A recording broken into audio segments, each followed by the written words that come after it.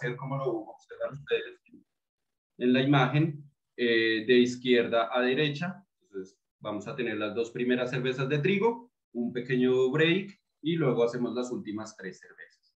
Recuerden, amigos, que esta cata la construimos entre todos y que pueden preguntar lo que todas las, todas las inquietudes que tengan, intentaremos resolverlas.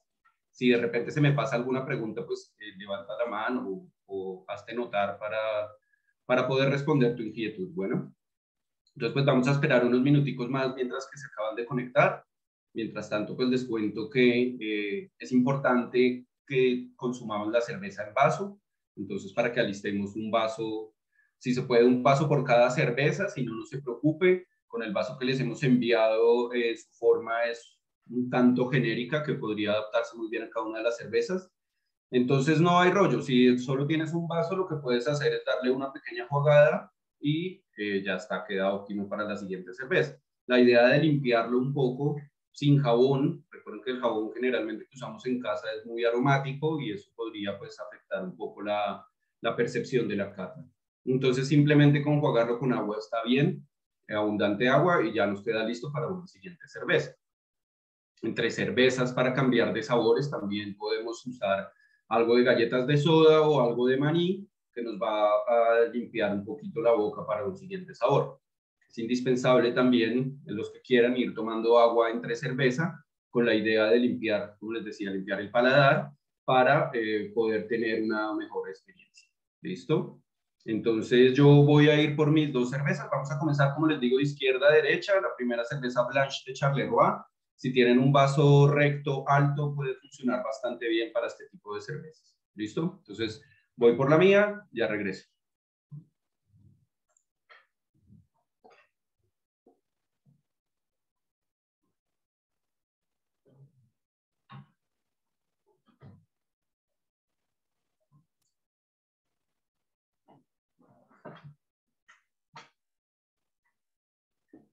Bueno, entonces, yo la verdad la tenía muy a la mano, eh, muy cerquita. Entonces es esta Blanche de Charleroi, ¿vale? Para que la tengamos presente. Ah, el vaso.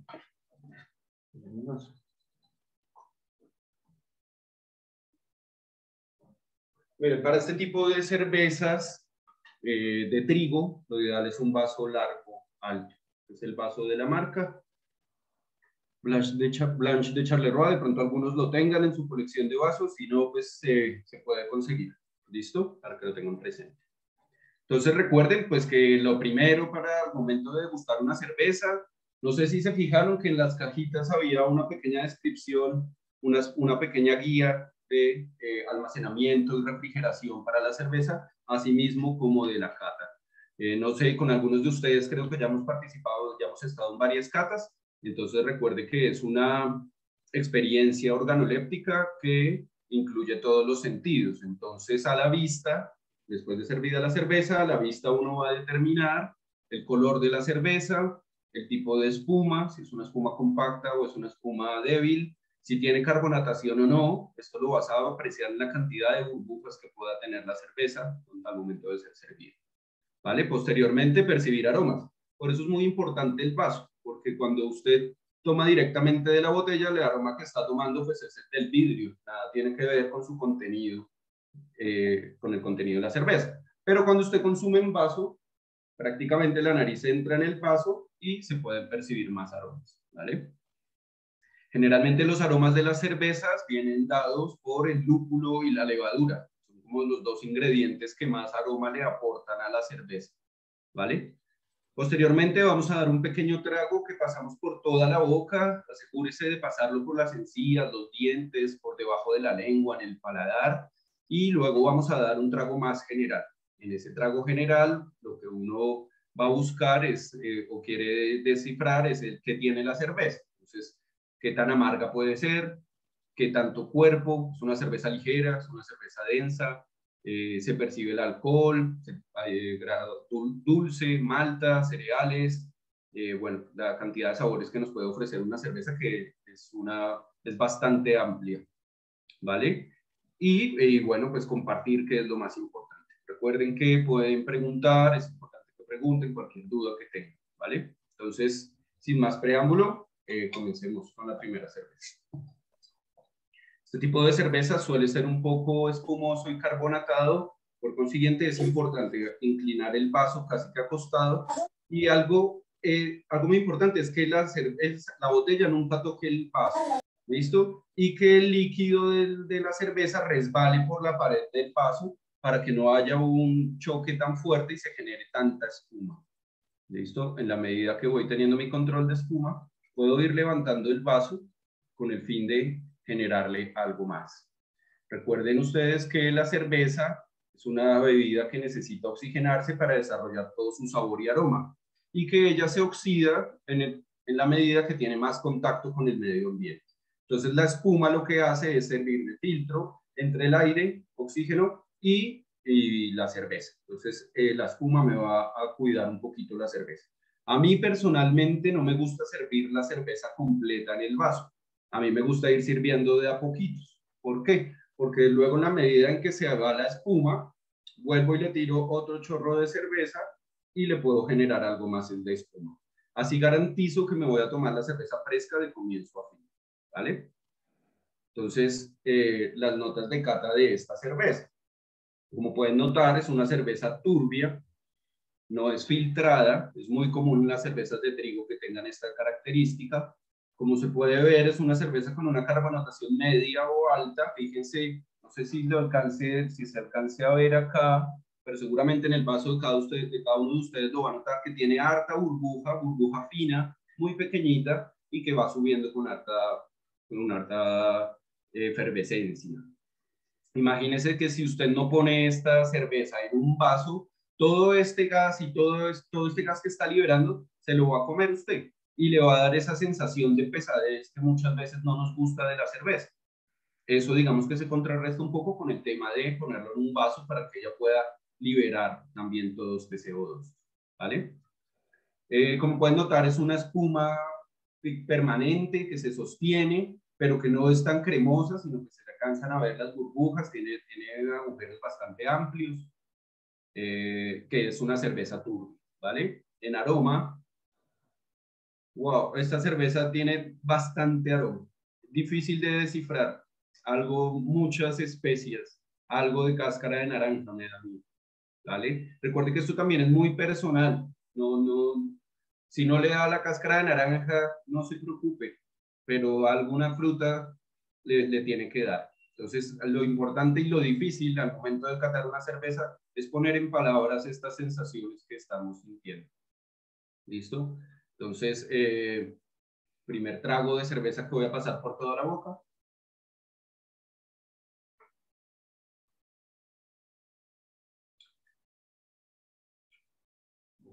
Wow. Eh, ¿Sabe cómo mascar un banano? Más o menos, sí, esto sucede un poco en esta cerveza. Si, este, si te dio banano en esta cerveza, Camila, eh, la siguiente te va a estallar el paladar, porque ahí sí que lo tiene muy presente. Fíjense entonces que es una cerveza, uh, yo diría que de cuerpo bajo, se percibe como ligera, se percibe ligera la cerveza, de amargor medio bajo, eh, el alcohol no se siente para nada, es una cerveza muy refrescante, muy fácil de tomar. ¿Listo? Entonces, mientras que nos tomamos esta, mientras nos degustamos esta Blanche de Charleroi, quiero contarles un poco acerca de Bélgica. ¿Listo? Es un país que en el 2016 la UNESCO denominó las cervezas de Bélgica Patrimonio Inmaterial de la Humanidad. Es un país en donde el desarrollo cervecero es súper amplio. Un país que eh, entre chocolates y cervezas es que, sostiene su economía digamos que son sus dos productos de exportación más fuertes. ¿Vale? Em, entonces, bueno, Bélgica, la historia de Bélgica se remonta hacia las primeras cruzadas a principios del siglo XII, digamos que, y el desarrollo cervecero estuvo directamente ligado a los monasterios y las abadías. Entonces, con los permisos de la iglesia, la, cerveza de Bélgica es más antigua que el mismo país de Bélgica. ¿ok? y tenía, eh, se, manifestó y se desarrolló mucho a través de la Iglesia Católica y en algunas abadías que obtuvieron permisos para comercial y, así de cierto modo financiarse. Digamos que la cerveza surgió en las abadías también como, una, como un arte, como una artesanía. Eh, eh, fue una receta que desarrollaron monjes hacia en la parte norte de, de Europa, porque la parte sur es mucho más de vinos un terreno mucho más apto eh, para la uva, pero más al norte la uva ya era un poco más frío, entonces la uva no funcionaba tan bien y fue en estos países donde, donde empezaron los desarrollos importantes cerveceros. ¿Vale? Eh, digamos que durante una época la cerveza se consideraba en Bélgica como más salubre que el agua. Digamos que el agua había, no había un buen cuidado de las fuentes hídricas y muchas veces el agua podía estar contaminada. Encontraron en la cerveza una bebida que podía ayudar muchísimo en este tema, pero eh, pues sin ir más allá es que la cerveza comienza siendo una sopa. En el proceso de elaboración cervecera lo primero que se hace es una sopa. Cereales, poner cereales a hervir. Poner cereales a hervir es como eh, la primera parte de la cerveza y obviamente al hervir el agua pues eh, le estás quitando cualquier microorganismo que pueda afectar a la salud. Entonces ahí eh, desarrollaron unas cervezas que se les llamaban cervezas de mesa, porque eran de, muy baja graduación alcohólica y muy fáciles de tomar. Entonces este tipo de cervezas lo podían consumir perfectamente los niños, eh, teniendo en cuenta pues que el agua enfermaba y estaba esa idea de que el agua enfermaba, entonces a los niños también los alimentaban con, algo de cerveza, obviamente de graduación alcohólica muy baja. ¿Vale? Eh, la primera cervecería, digamos que el desarrollo, como les decía, que en Bélgica el desarrollo cervecero estaba directamente ligado con los monjes y ellos forman una comunidad que se llaman trapistas. Eh, es una comunidad bastante cerrada, eh, actualmente solo hay 12, 11, 12 cervecerías trapistas alrededor del mundo y en Colombia pues es, es muy escasa, solamente tiene presencia de marca una que es Chimay, pero digamos que la primera cervecería trapista en Bélgica se llama Westmal, una cervecería que actualmente tiene unos productos muy buenos. Eh, al ser trapistas, pues no son producciones tan elevadas, tan grandes, entonces son cervezas difíciles de conseguir. Eh, si en algún momento se encuentran con una cerveza trapista, por favor no pierda la oportunidad porque son, son difíciles de conseguir y realmente son muy, muy bien logradas. Entonces vale la pena eh, detenerse y, y degustarse una cerveza de esta, ¿vale? Fíjense que la cerveza entonces, como les decía, pues era para financiar, los monjes la usaban para su financiación y más o menos en 1860, 61 fue, se registran las primeras ventas de cerveza, ¿vale? Eh, algo muy importante en Bélgica es que las cervezas se consumen, cada cervecería se esfuerza y saca un diseño de vaso eh, óptimo para su producto, ¿vale? Este, con, esto con el fin de resaltar algunas características que el productor quiera, tanto en aroma como en sabor.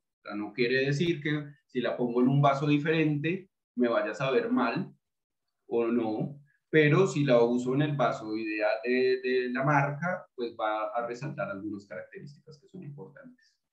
¿Listo? Recuerden que es importante preguntar eh, sobre todo para que no, porque me siento que, que hablo y hablo como un loco, pero, pero bueno, si, si vamos bien, si cualquier pregunta o algo me cuenta, ¿listo? Bueno, entonces también algo que para contar más de Bélgica es que existen numerosos eh, estilos de cerveza, cervezas de todo tipo, cervezas afrutadas, cervezas eh, con muchas especies, cervezas de trigo, cervezas oscuras, cervezas con chocolate, cervezas con miel. Bueno, digamos como que ellos experimentaron y experimentan muchísimo eh, con las recetas cerveceras. Ahora lo más novedoso que tienen es em, cervezas con maduración en barriles que anteriormente se usaron para hacer algún destilado, por ejemplo, de ron, de whisky, de coñac. Entonces eso pues como para tenerlo en cuenta, ¿no? Como que muy, muy, muy importante acá alguien nos, me preguntaba que cómo hacemos para importar eh, estas cervezas a Colombia. Pues bueno, resulta que estas cervezas y conservar su estado. Este tipo de cervezas, pues son cervezas vivas. Digamos que en este, este producto no se pasteuriza. La pasteurización, pues recordemos, eh, son intercambios bruscos de temperatura con el fin de eliminar cualquier microorganismo.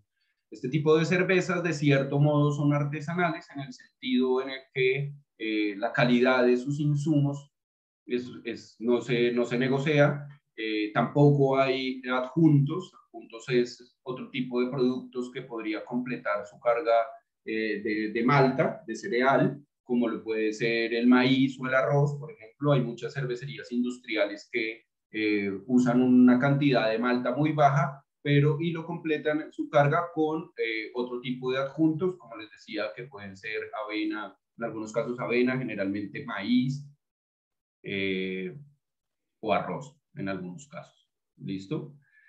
Eh, ¿Con qué comida recomendaría yo tomar esta cerveza? Mira, este tipo, en el maridaje, las reglas básicas son que puede ser por armonía.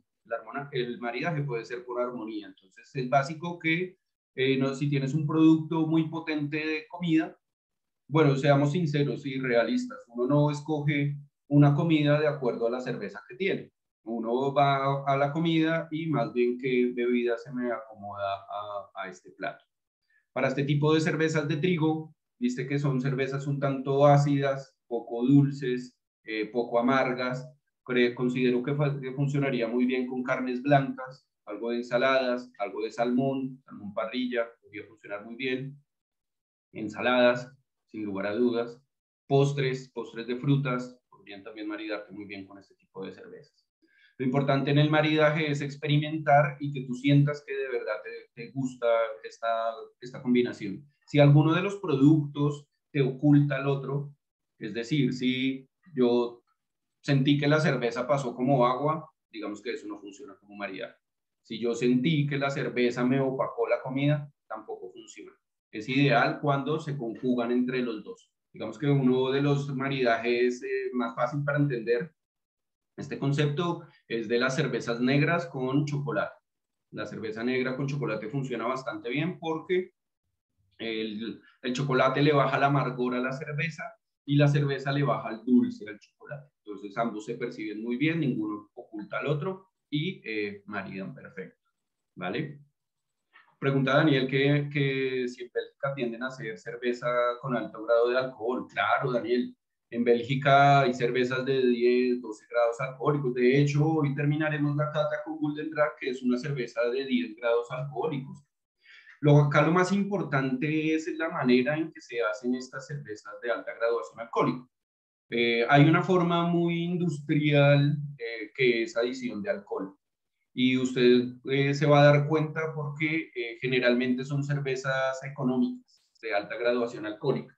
Mientras que en el proceso real, para poder llegar a conseguir estos grados de alcohol durante el proceso de una fermentación sana, se suben los, se, se, incrementan los insumos y son cervezas más costosas. Digamos que al momento de que lleguemos a Golden Track hablaremos de eso, pero sí, eh, digamos que en Bélgica las cervezas normalmente vienen siendo de 6 grados para arriba, ¿sí? Tengamos en cuenta que hay cervezas de fermentación lager y cervezas de fermentación ale. Las cervezas lager eh, son cervezas de graduación alcohólica menor a 6 grados, a 6 grados. Dos representantes de Bélgica en este tipo de cervezas es Stella Artois, una cerveza lager tipo Pilsen, que no creo que supere los 5 grados alcohólicos, y otra que no tiene, pues que es de consumo interno, que se llama Jupiler, que es una cerveza también lager de consumo masivo, que es una cerveza de 4.7 grados de alcohol. ¿Listo? Pero todo lo que son las cervezas cervecerías eh, familiares, pequeñas y artesanales, eh, genera, se genera un poco más de alcohol. ¿Vale? Entonces, eh, sin duda alguna, así como en Inglaterra, en Bélgica las cervezas son de alta graduación alcohólica. Bien. Eh, bueno, acá hay otra pregunta. ¿Podría repetir lo que mencioné sobre el sabor de la cerveza? que le aporta principalmente el lúpulo? Ah, bueno, listo. El lúpulo es uno de los ingredientes básicos de la cerveza. Ella se elabora con cuatro ingredientes, lo que es el agua, que es un 90% de la cerveza, cereales o que lo podemos llamar como maltas, eh, generalmente cebada, trigo en este caso, em, levadura y lúpulo. Entonces el lúpulo es el que le aporta amargor y aromas a la cerveza. Cuando hablamos de lúpulo, no solamente hay una clase de lúpulo, existen muchísimas, muchísimos tipos de lúpulo, algunos más potentes que otros, algunos con mucho más sabor eh, o más resina, con diferentes características que le van a aportar a la receta un toque especial, ¿vale?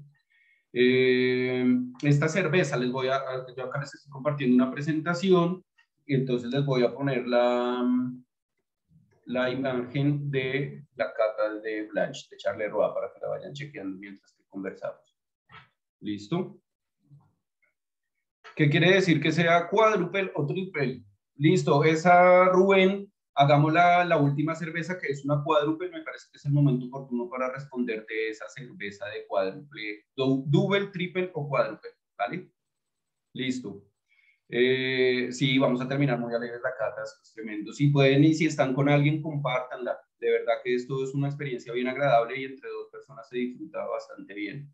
Digamos que para el en, el, en el ejercicio de cata, eh, lo ideal es probar al menos o máximo 125 mililitros. ¿Listo? Entonces, si lo pueden compartir con alguien, pues está chévere. Si no, si se la quiere tomar toda, pues bienvenido y, eh, y me cuenta al final cómo le va. ¿Vale? ¿Qué cervezas en Colombia recomiendo para de mi conocimiento? Bueno, mira, hablemos de este estilo como tal, que son cervezas de trigo. Generalmente los artesanales vienen elaborando tres, cuatro estilos básicos y comunes. Uno de ellos son las cervezas de trigo, elaboran también unas cervezas tipo IPA y generalmente elaboran una porter o una stout. ¿Listo? Eso digamos que en la producción cervecera es muy común. Las cervezas de trigo son difíciles, su proceso es complejo y eh, son difíciles de lograr de buena calidad.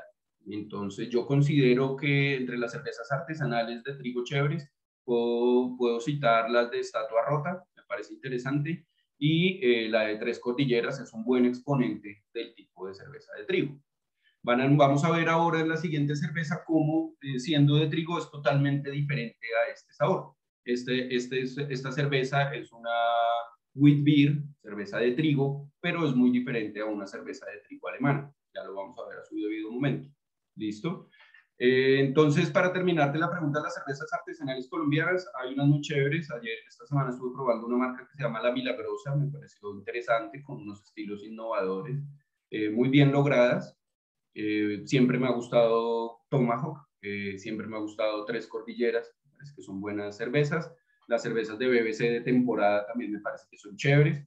No sé, no sé, no sé, esto sí es un tema totalmente personal, si es porque las de línea ya como que se estandarizaron y pues ya no te, te sorprenden, pero las y, las y las hacen pues digamos como que en cantidades ya más elevadas. Las cervezas de temporada siento que eh, le ponen un poquito más de dedicación por sacar algo diferente, por, por hacer algo bueno y distinto y creo que esas de temporada están bastante, bastante bien para que no las tengan ahí presentes. Asimismo, pues hay muchas más cervecerías Acá la invitación es eso, de, atrévase a probar y descubrir, eh, tenga presente que en el tema artesanal la inestabilidad del producto es un valor, es algo que juega muchísimo. Es decir, hoy puede que esté buenísima, deliciosa, pero en un mes tal vez no. Hay algunas, sobre todo esto pasa con los más pequeñitos, los más underground, pueden, pueden generar este, este, pueden tener este problema, más cervezas como más caseras, por decirlo así, suelen tener este tipo de situaciones. Entonces, eh, la, invitación es esa, pruébela unas dos veces, a ver si, si realmente te gusta ahora, ¿vale? Al usar uno u otro cereal, ¿hace la cerveza más fina? Mm, no más fina necesariamente, eh, Juan Carlos, pero sí eh, la variedad de maltas, cuando hablamos de que una cerveza es elaborada, una cerveza de cebada nunca es elaborada solo con un tipo de malta de cebada Generalmente una cerveza tiene una malta base, que es la que le va a aportar toda la, toda el, el, dulzor, el dulce eh, para, la, para la fermentación, y tiene otro tipo de maltas que dependiendo del proceso del grado de tostión o el proceso de tostión podría generar otros sabores. Hay una, por ejemplo, muy conocida que es la malta caramelo, que la usan muchísimo en las cervezas rojas.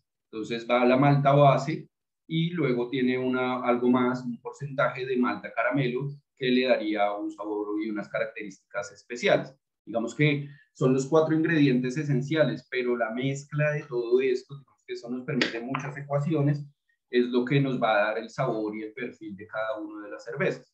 Cuando una cerveza se denomina cerveza de trigo, es porque en su proceso y en su carga de cereal tiene al menos el 50% de malta de trigo. ¿Listo? Si tiene el 50-51, ya la cerveza entra en la categoría cerveza de trigo. Si tiene el 49 o 45, no se denomina de trigo, pero sí generalmente lo nombran en la etiqueta. Ya vamos a ver en Adnams, por ejemplo, que tiene, que tiene esa situación. ¿Vale?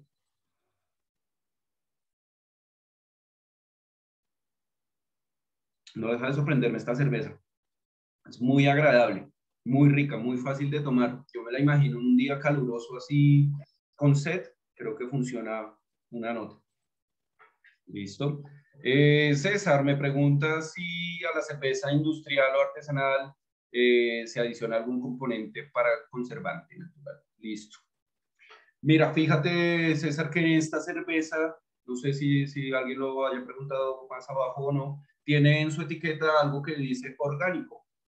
Listo, orgánico y biológico. ¿Qué quiere decir esto? Hoy día, con todo el tema ambiental, las cervecerías están empezando a virar hacia productos cada vez más sanos y más limpios. Y este tipo de productos o este, esta palabra biológica y orgánica hace referencia a esa que ninguno en, en su proceso de, de, cultivo de los cereales, del, cereal y del lúpulo sobre todo, eh, se puede decir que no se usan eh, pesticidas ni, ni que tiene manipulación genética entonces son cervezas como totalmente naturales. En cuanto al agua y a la levadura, si no existen eh, sellos de que garanticen que son totalmente biológicos, pues de hecho la levadura pues es como que se va reproduciendo esa misma, ese mismo, esa mismo. Y el agua pues definitivamente pues como sí necesita tener una revisión química, pues sobre todo para revisar cómo esté eh, su, dureza, si son aguas más duras o no, qué tantos minerales puedan tener, porque esto sí cambiaría la cerveza. O eso sí me podría afectar a mí la cerveza. Si yo hago una cerveza con el agua de Bogotá y eh, hago la misma receta con el agua de eh, Cocuy, pues va a cambiar muchísimo. ¿Listo? Entonces, para que lo tengas presente, en las cervecerías industriales se pasteuriza y nadie lo dice, pero de pronto seguro tiene conservantes. Entonces, eh, eh, las cervezas artesanales se, se, distinguen por eso, por el cuidado de sus ingredientes. No quiere decir que todas las artesanales tengan este proceso eh, o puedan garantizar que, que, el cultivo nunca, en el cultivo nunca se usó pesticidas. Pero anteriormente, antes de 1800, comienzos de 1800, pues la cerveza sí era totalmente, digámoslo en ese sentido, natural, ya que no había pues los pesticidas y tampoco los, em, bueno, en fin, estos que ayudan al crecimiento. Listo, entonces ahí vamos. ¿Cómo van de cerveza? Pasamos a la siguiente. Alguien que me diga cómo van ahí, porque no, no puedo ver si sus vasos están llenos o vacíos. Vamos pasando a la siguiente cerveza entonces. Eh, ¿Qué dice Camilo? Yo, yo pretendo ahorita hacer la cata con un amigo. Ah, bueno, para lo de la grabación, Camilo, sí, claro, esta cata se está grabando, entonces eh, no te preocupes que ahí va a quedar grabada. ¿Qué vas a hacer? Eh, Sebastián, qué pena, eh, abro el micrófono, ¿todo bien? ¿Ahí se escucha? Gracias. Sí, Hola, Sebastián. Hola, eh, ¿cómo vas? Camilo, yo he tenido como 20 catas contigo, ¿todo bien? Sí, sí, sí, Camilo, eh, claro. Sí, eh, no, e, era precisamente eso, como yo ahorita estoy haciendo acto de presencia, pero pues la iba a hacer con un amigo, pero el man llega como a las ocho y media, entonces hay posibilidad como de esa hora como tener la grabación de una o se demora mucho en procesar o cómo arreglamos ahí para tener la grabación. Ah, no, no, no, no te preocupes que seguramente que la vas a tener, pues esta grabación queda, esto no, esto no se edita, Acá no editamos ni, ni, ni hacemos eh, montajes ni nada de eso. Entonces, al terminarla, ella queda disponible. ¿Dale? y como, como a quién le digo o te dejo el correo, ah, bueno, al final, listo, hombre, al sí, final. Sí, sí, al, al, final nos cuentas, seguramente con María Claudia Privilegios podemos cuadrar este tema, no hay ningún problema, ¿vale? De una, listo, vale, muchas gracias. Todo bien, con gusto. Bueno, eh, David no me pregunta que si es cierto que las cervezas artesanales son más propensas a dar guayabo. Eh, ¿Sabes qué da guayabo mucho? El tema de, de, de, pues de tomar diferentes cervezas. O el tema de la cata, por eso yo les decía, la cata ideal, 125 mililitros. Em, porque sí, claro, vamos a probar diferentes sabores, seguramente da algo de resaca, eh, es importante consumir bastante agua al final de la cata. Eso, eso también ayuda muchísimo a estabilizar un poco, ¿vale? Pero que las artesanales sean más que las industriales, pues no creo. Pasa que las artesanales generalmente son, tienen una mayor graduación alcohólica. Entonces eso por eso te podría generar un poquito más. Pero no creo que no tiene diferencia de que sea artesanal o, o industrial. ¿Vale? Por ejemplo, mira, a mí yo me puedo tomar unas seis, tres cordilleras, digamos, que es artesanal y todo bien. Pero yo me tomo dos Heineken y ya de una me, me da dolor de cabeza. No sé por qué me pasa con esta marca eso. Y he hablado con varias personas que también me han dicho que, les, suele, que les ha pasado eso eh, con esa marca. ¿Listo? Bueno, entonces continuemos. ¿Listos para la siguiente? ¿Listos? ¿Listos para la siguiente? Vamos, por favor, con Blanche de... Eh, Hofer, ¿listo? Por favor. Entonces voy por mi cerveza y ya regreso con ustedes. Ah, bueno, para esta cerveza Hofer, vaso largo alto. ¿Listo? Podría ser jugado el de la anterior cerveza y eh, funciona, ¿vale? Entonces voy por mi cerveza, ya regreso.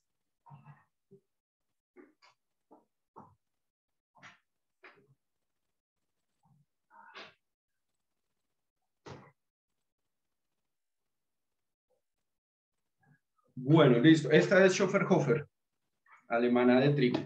A mí eh, siempre me ha gustado y recalco esto, el tema del agua en las catas funciona bastante bien para limpiar un poquito el paladar. Eh, hay cervezas que son muy potentes y, la siguiente necesitamos como tener ese sabor limpio. Entonces a mí siempre me gusta tomar agüita entre cerveza y cerveza.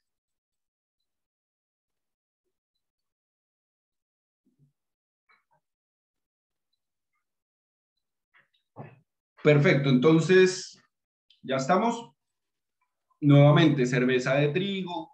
Recuerde, inclinar, vaso largo, alto, inclinarlo, eh, dejar que el líquido resbale por la pared y al final eh, ir teniendo un control de espuma para luego tener ya eh, bien servida la cerveza. Digamos que el vaso que yo traje el día de hoy es un vaso pequeño de 250 mililitros lo ideal, generalmente las cervezas alemanas vienen en tamaño de, 500 de medio litro y eh, suelen servirlas completas, dejando, digamos que la vas sirviendo, dejas una pequeña parte, al menos dos dedos, agitas la cerveza para que se despegue toda la levadura que tiene eh, ella y se la pones a la cerveza. Digamos que en mi caso como es un vaso pequeño, pues no, no llegué hasta el final, seguramente en el segundo vaso ya puedo hacer ese ejercicio. Y pues bueno, nuevamente le vuelvo y les digo, a mí personalmente me gusta más eh, ir sirviendo la cerveza de a poquitos y generando espuma, generarle espuma. Entonces, bueno, para las notas de cata de esta Schofferhofer, fíjense que es más turbia que la anterior cerveza. La anterior cerveza eh, era un poquito turbia, pero no tanto como esta. Veo que la, la, burbuja es un poquito más grande, la anterior era más fina, aún así esta sigue siendo pequeña y fina. Alta carbonatación, esas burbujas suben como loco. Bueno, es difícil con la cámara del computador lograr ese enfoque. Eh, pero la espuma se comporta bastante similar, también es de, de agujero o burbuja grande, un poco compacta y que se sostiene un poco, ¿vale? En cuanto a las notas, a las notas de aroma, en esta cerveza sí eh, resaltan muchísimo el banano y el clavo de olor, muchísimo, muchísimo. Entonces eh, creo que tu nombre era Camila, no estoy seguro, me disculpas, pero en esta cerveza, tú que habías comentado que te sabía mucho banano, esta cerveza a mí sí que me da esas notas de banano, ¿vale? Eh, doble banana, dice Camila. Ok, entonces ahora al probar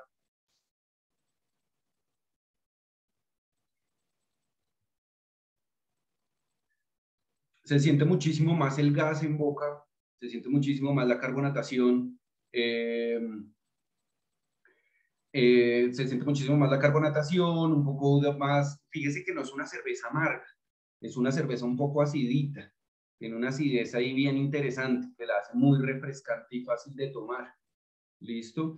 Eh, Camila, en Alemania este tipo de cervezas son muy consumidas en verano y suelen ponerle como una, como una papilla de banano, como que coges el banano, lo espichas como papilla y se lo ponen a la cerveza. Digamos que es como una forma del michelado de, que elaboran ellos allá, ¿vale? Para que lo tengan presente. Ese es otro tipo como de cóctel de cerveza. ¿Listo? Entonces, eh, para que revisen ahí. Yo también estoy acá compartiendo la cata, acá en casa, entonces al, al lado del cervecero bien. Listo. Eh, ¿Puedo pasar el diagnóstico para ver las catas? Claro, la diapositiva. Enseguida. Acá pasamos la diapositiva nuevamente. Un segundito. Listo, Schoffer-Hofer. Mientras tanto, entonces les cuento un poquito acerca de la historia de Alemania y las cervezas. Entonces, en Alemania también la cerveza comenzó con, con los monjes. También los monjes fueron los primeros en, en elaborar cervezas y estaban ahí del tema y desarrollar. Eh, estos monjes llegaron a Alemania porque eh, durante la Revolución Francesa los monjes empezaron a huir y se fueron yendo hacia el norte, hacia el norte, luego se, establecieron y ahí ellos empezaron a hacer su desarrollo cervecero también en monasterios y abadías, ¿vale? Digamos que la cerveza, la historia y la tradición cervecera alemana eh, lo tenían antes de la época de las invasiones romanas. Recuerden que la cerveza es una bebida milenaria, ancestral y súper antigua. Eh, que, se desarrolló inicialmente en lo que hoy día, o los vestigios más antiguos, están en lo que hoy día comprende el área de, de Irán e Irak, el Monte Sacro. Encontraron ahí unos vestigios que, y con pruebas lograron determinar que había cereales fermentados pegados al borde de estas vasijas. Bueno, eso ya es otro cuento que, que a su debido momento también lo, lo, haremos, ¿vale?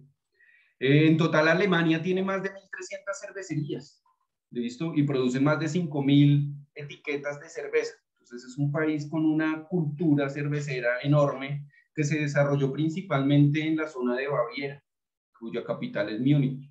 Eh, la gran mayoría de las cervezas importadas que llegan a Colombia se desarrollan en esta región y son de esta, de esta, de esta zona. Lo más interesante y relevante de, de Schofferhofer es que eh, es elaborada en Frankfurt. ¿sí? que es, está fuera de la región. Digamos que es una analogía ahí como que mm, es como decir eh, que en Pasto hacen bandeja paisa, algo así, y les queda bastante bien. ¿Listo? Es como que ese tema de que es un producto de otra región que lo están haciendo acá y lo hacen bastante bien. Algunos le llaman el champán de la cerveza por su buja fina y su efervescencia. Entonces, para que lo revisemos. Una de las cervecerías más antiguas del mundo se llama Wayne Stefan y está ubicada en Alemania, en, la, ciudad o en la abadía de Wayne Stefan, y es la cervecería más antigua del mundo, que ha, sido, ha tenido curiosidades porque también fue destruida y reconstruida varias veces a lo largo de su historia. Entonces, eh, pero siguen vendiendo cerveza hoy en día muy, muy, muy curioso eso. Me gustaría algún día poder probar este tipo de cerveza, saber que, cómo fue la primera, primera cerveza eh, realmente eh, comercial e industrial. En Alemania hay algo muy interesante e importante y que eh, define mucho sus cervezas y es el tema de la ley de la pureza o Regensburg, que se dictó en el año de 1516 y es como que es la identidad de la cerveza alemana. Esa Regensburg solamente habla, es la primera ley cervecera que se creó, de alimentos, de hecho, que se creó en el mundo, y eh, dice que solamente se puede denominar cerveza aquella bebida que se elabora con los cuatro ingredientes esenciales. Recuerde que es el agua, maltas, cereales, básicamente, lúpulo y eh, levadura. A partir de esos cuatro ingredientes, los alemanes elaboraron sus cervezas caso contrario a lo que era Bélgica, en donde sí hay mucha experimentación en las recetas con frutas y con especies.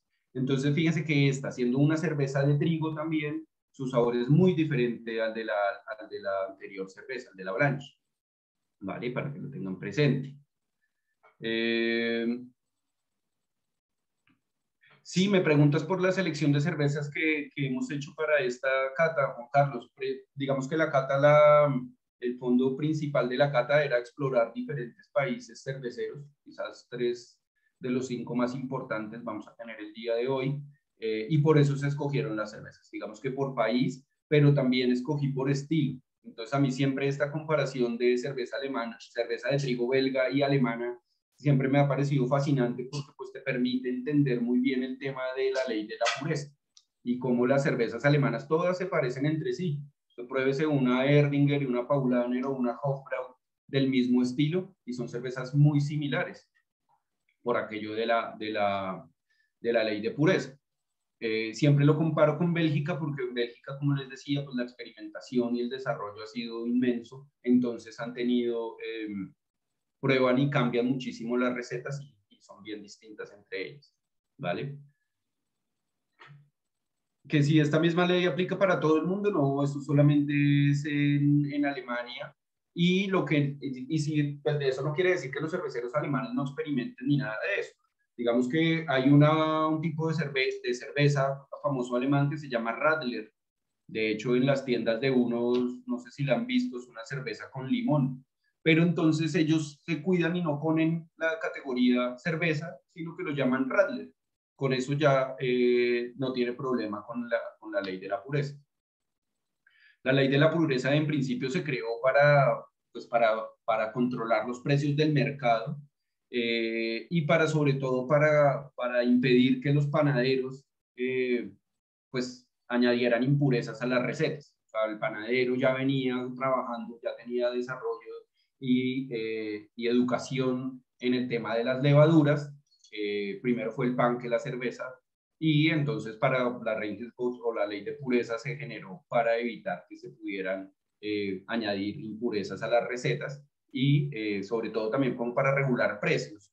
Luego, eh, más adelante se, dan cuenta que la persona, el, Guillermo II, si no me falla, fue quien, quien redactó esta ley. El tipo era el dueño de un montón de cultivos de cebada.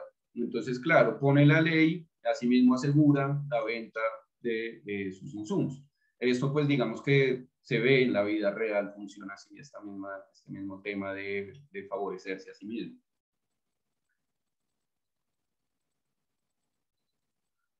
¿No les parece que está muy marcado o mucha presencia más del banano y clavo de olor en esta cerveza? Eh, bueno, la cerveza Quilmes es de trigo también. ¿Qué opinión tengo de esa cerveza? Pues la Quilmes de trigo no la he probado, pero sí probé la Club Colombia de trigo. No sé, creo que en los procesos de cervecerías industriales lograr este, estos estilos eh, de trigo, Weizen o Jefe Weizen o Weizen Dunkel, eh, son bien complejos. Entonces, no sé, a mí me parece que en las industriales me causa duda de que una industrial se, se, desgaste y haga la inversión y el esfuerzo para hacer este producto y ver que sale casi que al mismo precio que la normal de ellos. Entonces, como que uno dice, mm, pero ¿cómo le están haciendo? ¿Cómo le están haciendo para, para agregar un ingrediente diferente como el trigo y aún así poder mantener precios tan económicos? ¿Vale? Eh, aparece negra la presentación, ya lo revisamos nuevamente. ¿Qué pasó con la.? Ay, se fue la diapositiva al final. Ah. Perdón, un segundito, ya lo corregimos.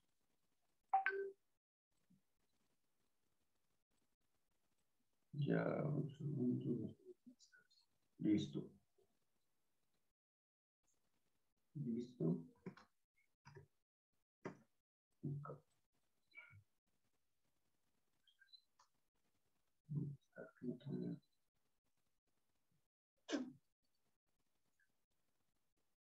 Listo, ahí ya la tenemos nuevamente. Ahí la ven, sí, pues yo la veo completa. Bueno, entonces maltas de trigo, los cereales, eh, para que tengamos presente esto. En Alemania, pues también la cantidad de estilos cerveceros también es bastante amplia.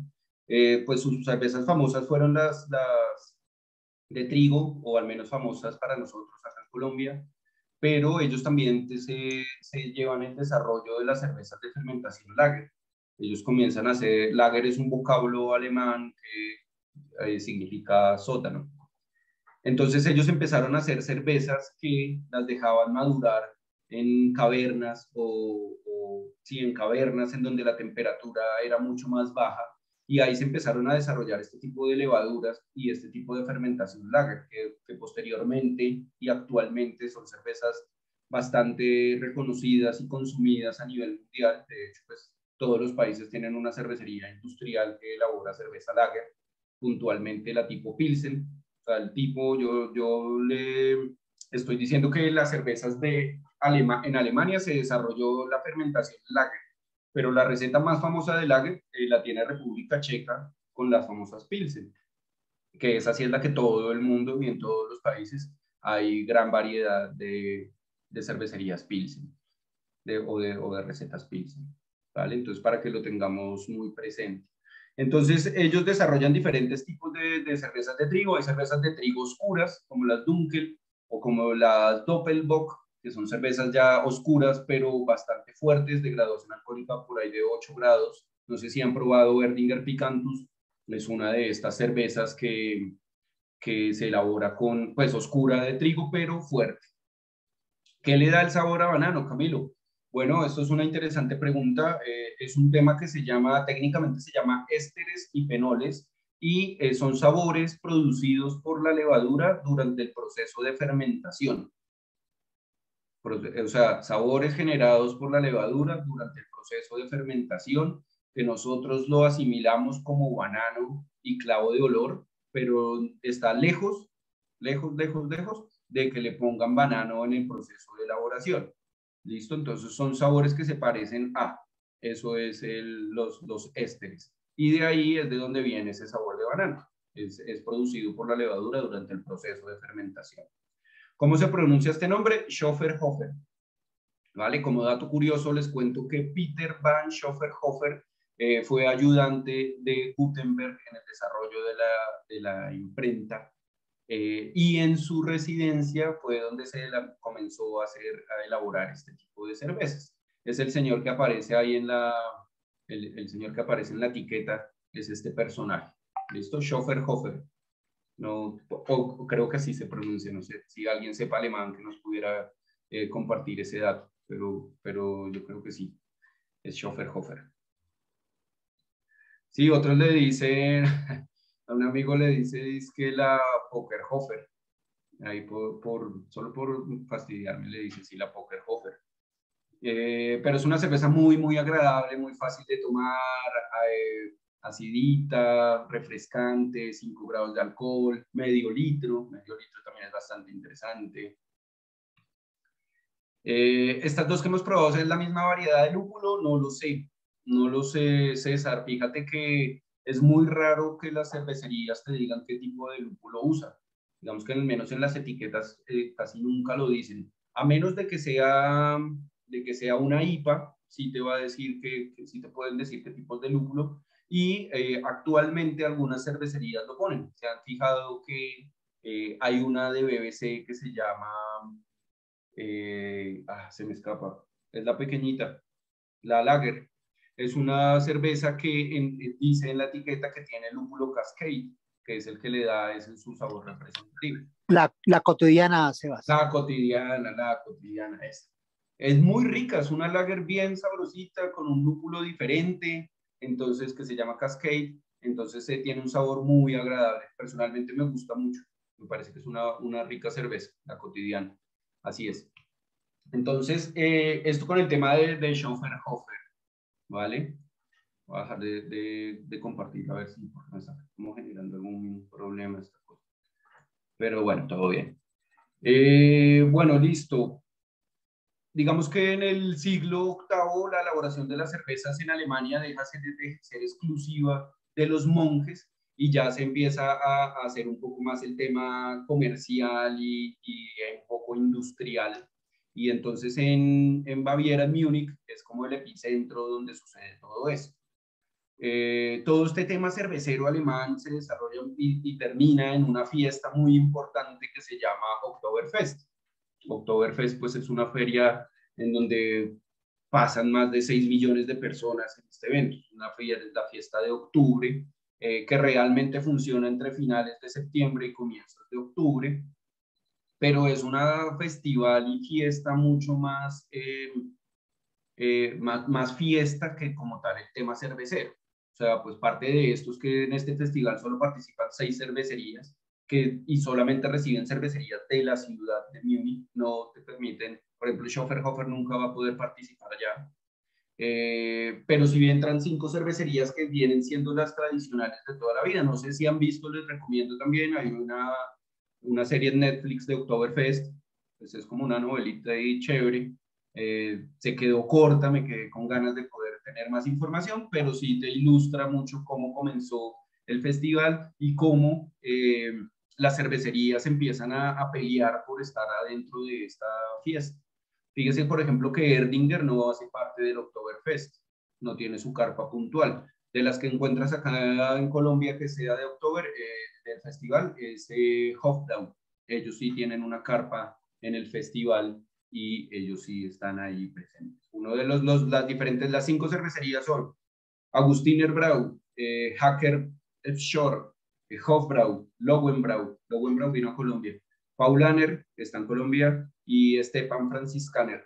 Son las cinco cervecerías como que están ahí en el festival constantemente. ¿Vale? Eh, las cervezas, bueno, como les decía, pues la cerveza de trigo pues es tradición alemana también conocidas como Weissenbier o cervezas de trigo, eh, y son las cervezas pues, más conocidas en, en el tema de exportación, ¿no? Eh, como les decía, pues normal, nuevamente, igual que en la cerveza de Bélgica, para la, denominación de qué es cerveza de trigo y cuál no, sí tiene que ver muchísimo con el porcentaje. Entonces, en Alemania también el porcentaje de trigo tiene que ser superior al 50 para poder estar ahí y eh, generalmente su graduación alcohólica no, pasa, no sobrepasa los 6 grados, salvo el caso, como les decía, de las Dunkel, que son de trigo tostado, o las Weissenbock, también de trigo tostado, como la Picantus, que llegan como a 8, más o menos, ¿listo? Em, es un poco con respecto a las cervezas de Bélgica, no sé si tenemos preguntas en el chat. ¿Cómo vamos hasta el momento? ¿Cuál de las dos les ha gustado más? Son bien distintas, ¿no? muy diferentes una de otra, pero eh, bastante agradables las dos. Yo creo que a mí, yo personalmente me quedo más con la alemana. La, la de Bélgica me parece un poquito más, el, el, tema de ser tan aromático, como que tal vez, a la, tal vez a la sexta cerveza ya me canse, mientras que esta alemana no, esta sí me deja todavía tomar un poco más. Listo. ¿A qué temperatura debes de tomar una cerveza? Esto lo pregunta mm, Julián.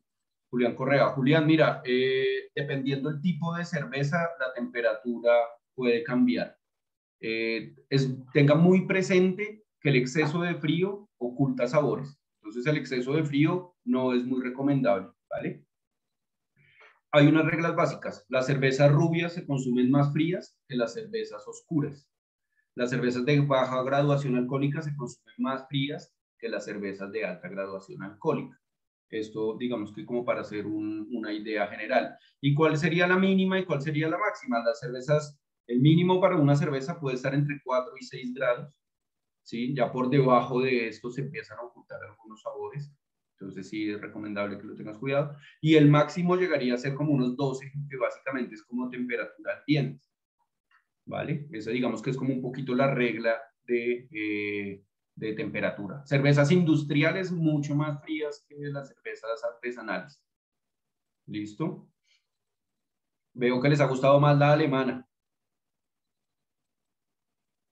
Bueno, entonces, eh, ¿cómo van de cerveza? Vamos a un break, un breakcito para de pronto unas galletitas, de pronto para tomar algo de agua, eh, ¿por qué no ir al baño? Recuerden que la cerveza es una bebida diurética, entonces eso pone a trabajar los, los riñones a full. Entonces eh, vamos a un pequeño corte de comerciales y enseguida retornamos con esta cata.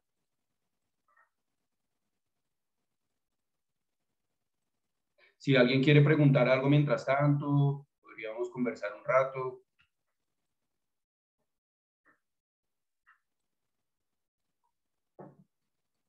Bueno, entonces hagamos break de break. break.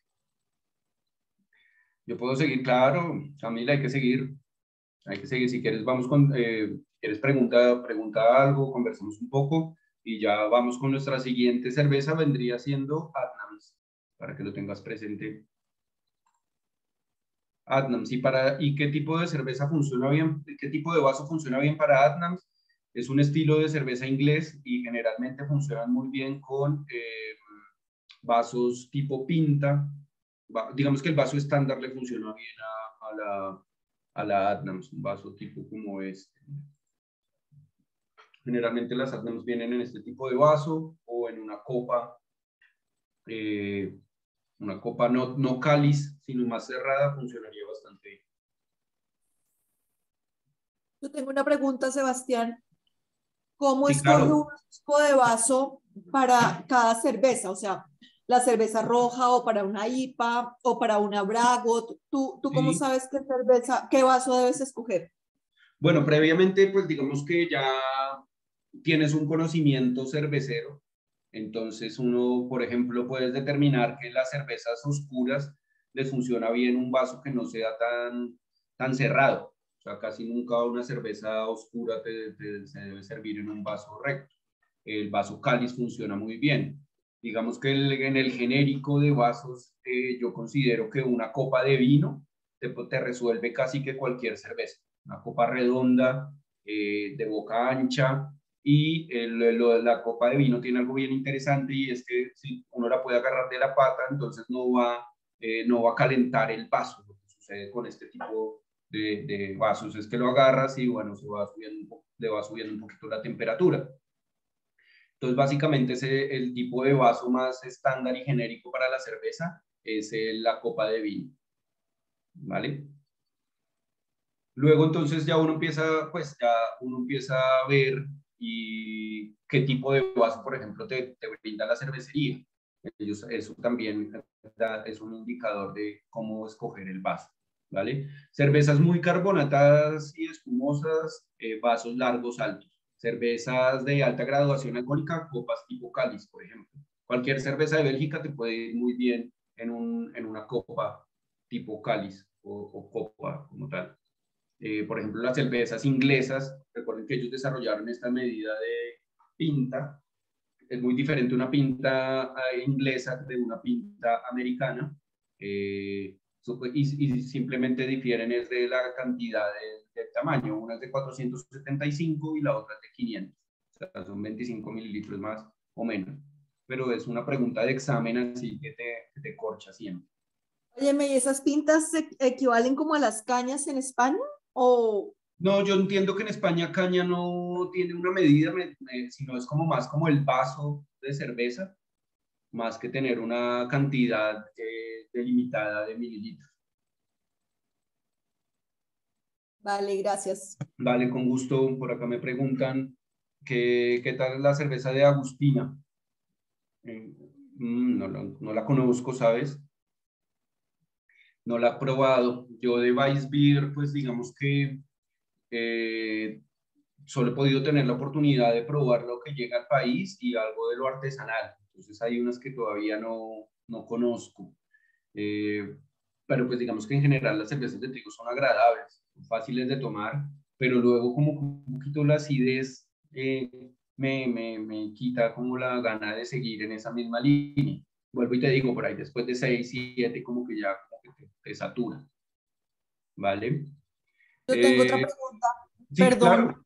No te preocupes. Eh, dice Andrés Duarte, pero mi nombre es Heidi. Eh, ok. no, la pregunta es, ¿qué, ¿qué, opinión tienes tú de las cervezas sin gluten? ¿Se consiguen españolas? Bueno, acá en Colombia. Se consiguen algunas, algunas con buen sabor, otras no tanto. ¿Tú qué opinión tienes de ellas?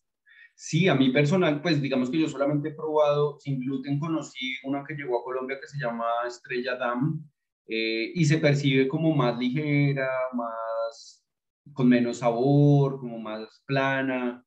Eh, finalmente es una cerveza lager, Entonces las cervezas lager son menos estructuradas y más planas. Mm, el tema de las cervezas sin gluten, pues está muy de moda y funciona bastante bien, pero pues no es que sea así de mi total gusto, la verdad. Eh, no conozco marcas en el mercado en este momento, lo que te digo, eh, sabía que estaba Estrella Damm, pero que se llamaba Daura, de hecho, la referencia tal cual, pero no, no, es una, no es muy comercial, que digamos, o sea, no se ven muchas marcas en el mercado. Vale, gracias. Dale. Eh, bueno, sigo acá en el chat, que me preguntan que por las cervezas de trigo, por las cervezas del barril, ¿Qué características pueden tener? Bueno, mira, el tema de las cervezas y el empaque es muy importante. La cerveza, uno, el, enemigo, número uno de la cerveza es la luz del sol. La luz del sol oxida la cerveza y le cambia el sabor, le, aplana el sabor. Fíjese que las cervezas de envase transparente generalmente te dicen que le pongas sal y limón. Eh, usualmente las cervezas vienen en envase de color ámbar, que protege un 96% de la luz del sol. Las cervezas de envase verde protegen como un 60-70%. Y si te fijas bien en las cervezas de envase verde, todas tienen el sabor eh, que produce el golpe de luz. Es un saborcito muy particular que encuentras en casi todas las cervezas verdes. Y ese es el sabor de la luz del sol. Entonces, el mejor empaque para una cerveza es el barril o la lata. La lata pues es un barril chiquito. Eh, ¿Por qué? Porque es que en el barril la cerveza está completamente sellada, ahí no hay problemas de oxigenación, de que quedó mal tapada, eh, y mucho menos va a sufrir por la luz del sol. Lo que pasa pues es que el tema de barriles pues ya son, es una cantidad bastante elevada que funciona muy bien pues para, para comercio, más no para tu consumo interno en casa. Ese es un poco el tema. Las cervezas de trigo también pueden venir en barril, claro. Claro que se puede. Eso no, no, no difiere del tipo de cereal el tema de barriles. Esto sí es general en todas. ¿Listo? Que si he probado cervezas Bruder, sí, me parece chévere, me parece interesante. Ellos tienen una cerveza de maracuyá simpática y tienen otra cerveza de chocolate que me pareció, me recordó mucho a la chocolatina Jet. Eh, rica, agradable, pero creo que como para tomarse una, probarla, disfrutarla y ya está. Eh, ellos, ellos sí, recetas alemanas, como no, están muy enfocados en esto. Digamos que acá los cerveceros artesanales tienden, tienden a enfocarse en cervezas alemanas. Por ejemplo, Apóstol. Apóstol en su momento le, le trabajó muchísimo a las recetas alemanas y casi que todos sus productos eran alemán. Pues digamos que de cinco, tres eran alemanas, dos eran recetas belgas. ¿Vale? Eh, pero estas Bruders son bien chéveres, son bien interesantes, el pop es bien bonito y me parece que han hecho un desarrollo bueno de marca, van, van bien, son bastante chéveres. Eh, ¿Qué opino de la cerveza Gruit? Mira, no, Camila, nunca he tenido la oportunidad de probarla, ¿sabes? Es algo bien interesante y, era un, y eso fue, se lo inventaron en Bélgica y era una mezcla de hierbas, para los que no saben, el Gruit es una mezcla de hierbas con el cual se le bajaba el dulzor a la cerveza. Una cerveza sin lúpulo eh, básicamente es una bebida dulce. Eh, la ponimalta es demasiado dulce, pero es como por ahí la cosa. Y eh, entonces en Bélgica y es muy común o se desarrolló este tema del gruit, que era una mezcla de, de hierbas que le iban a quitar ese sabor. Entre otras había romero, algo de laurel, le, le, aplicaban a la cerveza. aún, aún hoy en día se consiguen cervezas con gruit, Alguien me comentó en una cata virtual, no sé si fue con privilegios o, en, dónde, en qué tipo de cata, eh, que acá en Colombia se estaban consiguiendo cervezas Gruit. Eh, pero pues la verdad que salí a buscar inmediatamente y no, no, no he podido encontrar. Me parecería súper interesante probar este tema. Porque pues el lúpulo, siendo, siendo el protagonista del amargor y del aroma, pues siempre es bastante invasivo. Entonces, eh, sería bien interesante. No sé si tú lo has probado y nos quieras contar un poco. Eh, bienvenida. Listo, ¿qué tal es la Grolsch en envase verde? Pues bueno, sigue siendo una cerveza lager tipo Pilsen, muy parecida. Digamos que todas estas cervezas es como casi lo mismo, cambia el empaque y la etiqueta, pero viene siendo el mismo sabor. eh, pues porque para tener ese estilo, pues tú tienes que elaborarlo tal cual. si tú quieres que tu cerveza sea Pilsen, Lager, Lager tipo Pilsen, tienes que hacer, ceñirte a las recetas.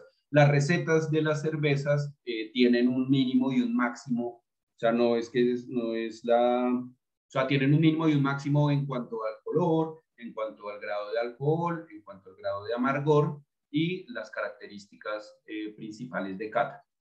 Eso, digamos que ellos tienen un rango mínimo y un rango máximo en donde puedes estar tu cerveza. Ahí es donde se empieza un poco a complicar el tema de determinar cerveza. ¿Vale? Eh, entonces, con que es chévere la Grouch Verde, me gusta el empaque, esa tapa que pueda sellarse nuevamente es bien interesante, funciona bastante bien, es muy práctico. Y pues sí, es una cerveza agradable, interesante, pero pues no, no sorprendente.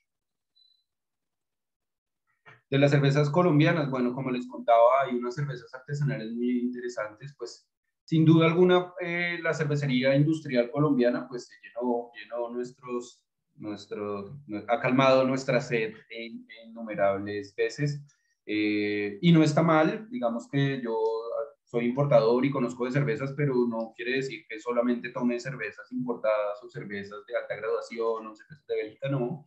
Eh, todo tiene su debido momento y eso es lo más interesante y lo bonito de la cerveza es que es una bebida muy versátil. Entonces hay cerveza para cada ocasión. Uno no va a el campo, uno no va después de hacer ejercicio, un partido de fútbol o bicicleta o el ejercicio que hagas, a salir a tomar cervezas de monjes de alta graduación alcohólica y estructurada. No, tú sales es a tomar una cerveza lager ligera para el momento. Eh, la cervecita del momento. Me gusta de esas eh, tradicionales industriales colombianas. Me gusta Águila en este momento. Digamos que he pasado con el gusto por todas. Águila en este momento me parece que está bien. Eh, Club Colombia me agrada, más no es de mis favoritas. O sea, si, dependiendo del momento, si me voy a tomar solo una, tal vez me tomo una Club Colombia, ahora está un poquito más amarga que antes, eh, pero generalmente, pues, cuando es de esas, me voy con Águila. Listo, las light no me gustan, las light son cervezas eh, aguaditas, ligeras, pues como su nombre lo dice, eh, funcionan muy bien en clima cálido, eso en la costa se vende como un logo y funciona bien y entiendo por qué, porque pues te refresca y es de un consumo rápido. ¿Vale? Eso por ahí. Eh, pero que si la Gruit no es un tipo de cerveza, me pregunta Camila. No, Gruit es el, las hierbas que le ponen, la mezcla de hierbas que se le ponen a la cerveza para quitarle el dulce. No es un estilo como tal, ¿vale? Es, un, es como el reemplazo del lúpulo. Piedemonte o algo así. Eh, sí, en Medellín hay unas artesanales bien interesantes, ¿sabes, Camilo? Eh, Tierra Alta. Eh, ah, se me escapan los nombres. Se me escapan los nombres, pero en Medellín, digamos que debo decir que me parece a mí que en Antioquia los cerveceros artesanales están haciendo un producto muy, muy bueno. ¿Para que Hay cerve es como todo, ¿no? Hay cervezas buenas, como hay cervezas regulares, como hay cervezas flojas pero eh, tienen unas muy buenas para que, muy ricas. Eh, y de las cervezas saborizadas, pregunta Andrés, Andrés Duarte. Eh, de las cervezas saborizadas tipo Floris, sí, son bien interesantes. Esto también es un tema muy de Bélgica, cervezas con cereza, cervezas envejecidas, en fin. son cervezas, yo los denomino como cerveza que no sabe a cerveza y estas cervezas afrutadas, pues digamos que el protagonista principal es la fruta y, y, tiene algo de gasificación y algo de alcohol, pero tal como que son ricas, agradables, refrescantes, interesantes como por descubrir, pero pues no, definitivamente pues no es una cerveza para tomarse hartas, ¿no? Entonces está bien interesante. Eh, que si, que si, ah, Wicca tiene una de Gruit, bueno, la voy a buscar, la buscaré me gusta esa marca, su desarrollo de marca es bien interesante, bonita la imagen. Eh, he probado una que otra, están bien, pero la de Gruit no la he probado, la buscaré. Muchas gracias por el dato. ¿Qué significa que una cerveza sea de doble malta? Bueno, esto yo considero que son temas un poco más comerciales que realmente de elaboración. Eh, como les decía, la cerveza se elabora, uno de los ingredientes básicos, por Carlos, es la, la malta o el cereal. Y si bien una cerveza es de cebada, no necesariamente es de la misma cebada, de una sola, de un solo tipo de cebada, sino que tiene una mezcla de cebadas. Esto pues eh, suena normal, pero en las cervezas industriales, como les decía, se usa una sola malta y, eh, y muchos adjuntos, arroz, eh, maíz. Entonces, cuando una cerveza industrial dice que es doble malta, pues simplemente pues es que le está poniendo otra malta para completar su sabor, pero pues esto realmente es más una jugada comercial a que tenga una diferencia en cuanto al producto. ¿Listo? Digamos que hay una denominación, esto me lleva a una pregunta que hicieron ahorita, que, que era lo de cual, que era cuadrupel, triple y cuadrupel, eh, y la quería resolver al final, pero con tu pregunta creo que cabe, cabe en este momento, y es que eh, double, triple o cuádruple hace referencia a la cantidad de malta que tiene una cerveza. Es decir, por, poner un ejemplo, si yo voy a elaborar un litro de jugo, eh, sobre el litro de agua voy a poner 10 gramos de la fruta. Eso sería una cerveza normal. Para una cerveza double o de doble malta, pues yo tendría que poner 20 gramos de fruta en el mismo litro de agua.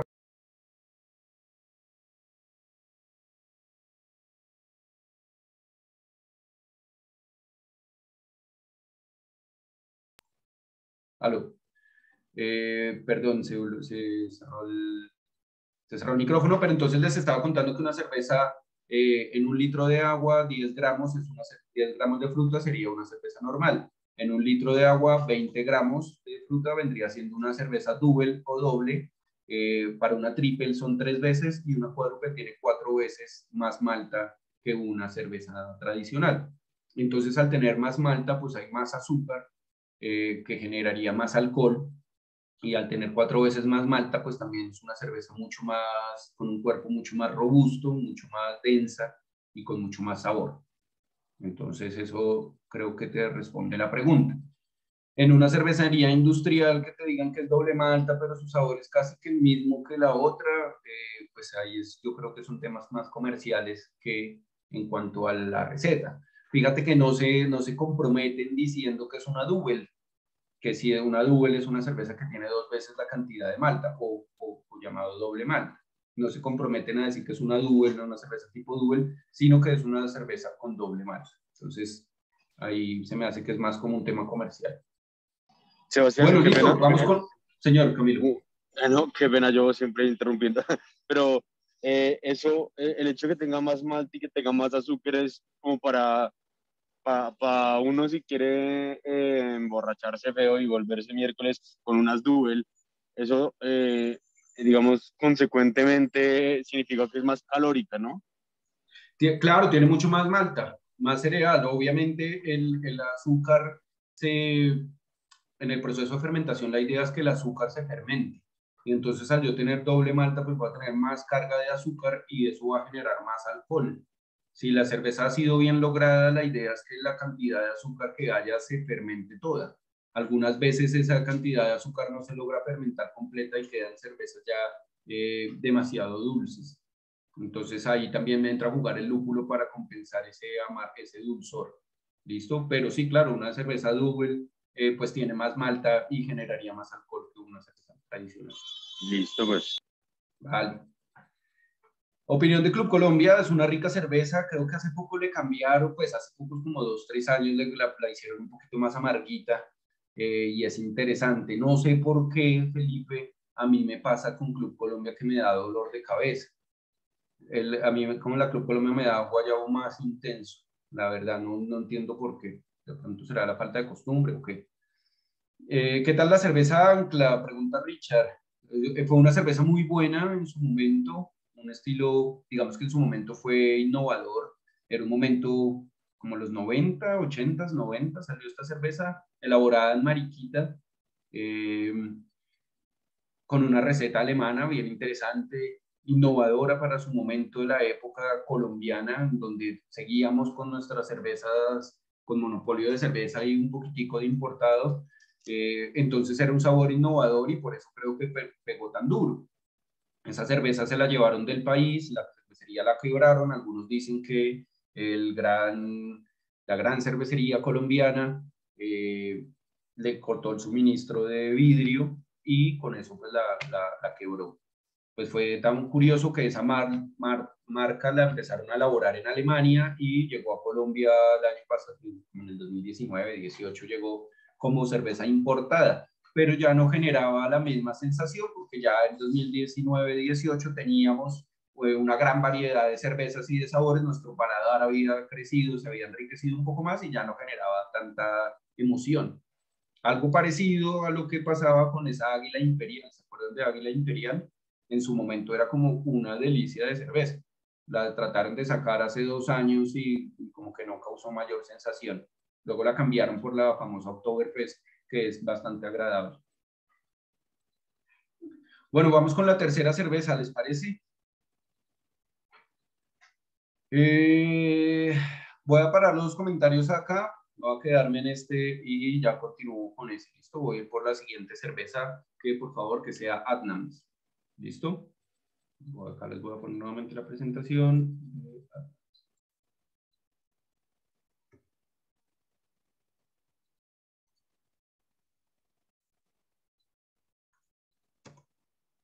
Esta es la de, la de, la de. La dejamos ahí mientras que vamos por la siguiente cerveza. Recuerden, cambio de vaso, vamos con una cerveza Atnams. No es un vaso muy diferente al tradicional vaso recto de casa, funciona bastante bien. No necesita un vaso muy especial porque no es una cerveza con una alta carbonatación. Ya lo veremos en su momento. Ya regreso.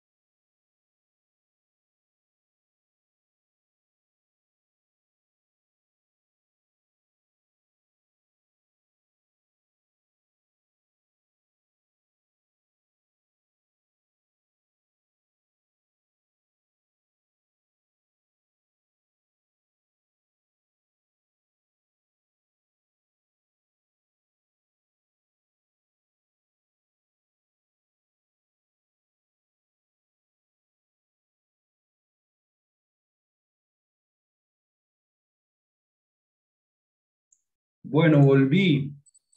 Eso fue rapidito. La cocina, la nevera no me queda tan lejos. Eh, bueno, entonces me estás diciendo que estás elaborando cerveza artesanal, maravilloso, genial, es, una, es muy agradable cuando, cuando pruebas tu propia cerveza, como que wow, qué, buena sensación, me trae muchos recuerdos, alguna lo hice varias veces, no lo volví a practicar, la verdad, pero sí es bien interesante sobre todo ir probando y diciendo, ah, me faltó esto, me faltó lo otro, la próxima lo voy a intentar así igual. ¿Vale? Eh, claro, con gusto, si quieres ahora al final de la cata cambiamos datos y lo que les pueda colaborar, con muchísimo gusto.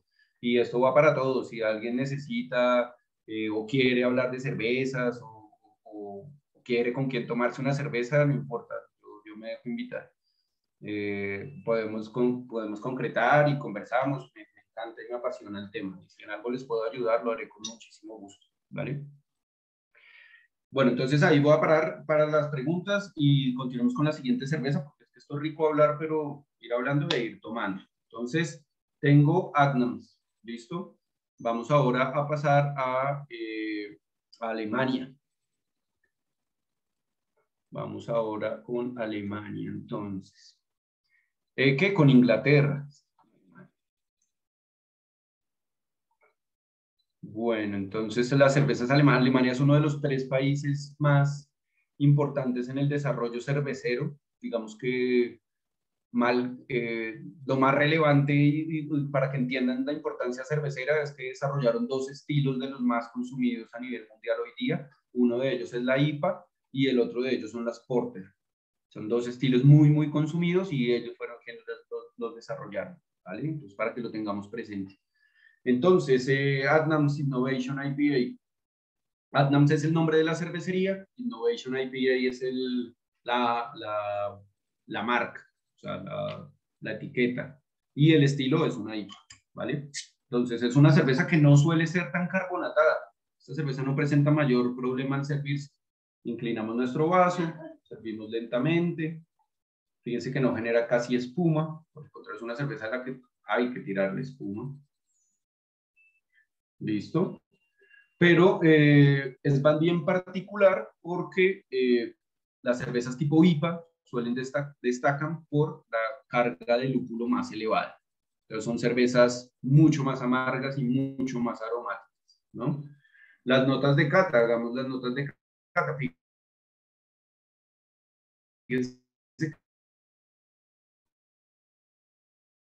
Eh,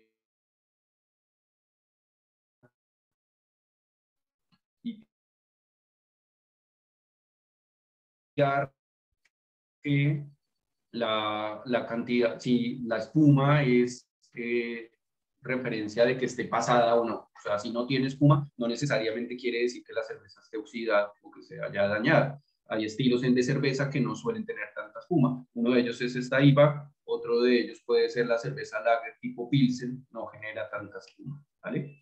Entonces, para que lo tengamos presente en aromas. Es una cerveza demasiado aromática, muchísimo aroma. O sea, acá, digamos que para entender el lúpulo, una IPA es, el ejercicio correcto. Y entre las IPA, pues hay diferencia entre las americanas y las, inglesas. la receta se desarrolló en Inglaterra, pero los americanos empezaron a, a desarrollar y a revolucionar las recetas del viejo mundo y eh, ellos también tienen su versión de IPA. Entonces ahí generalmente una IPA eh, tiene que tener también el sabor a malta, no solo es amargor. ¿Listo? Es importantísimo que también tenga el sabor a malta, el dulzor de la malta.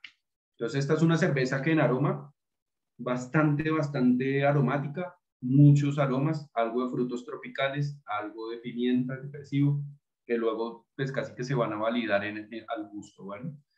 Eh, y de sabor,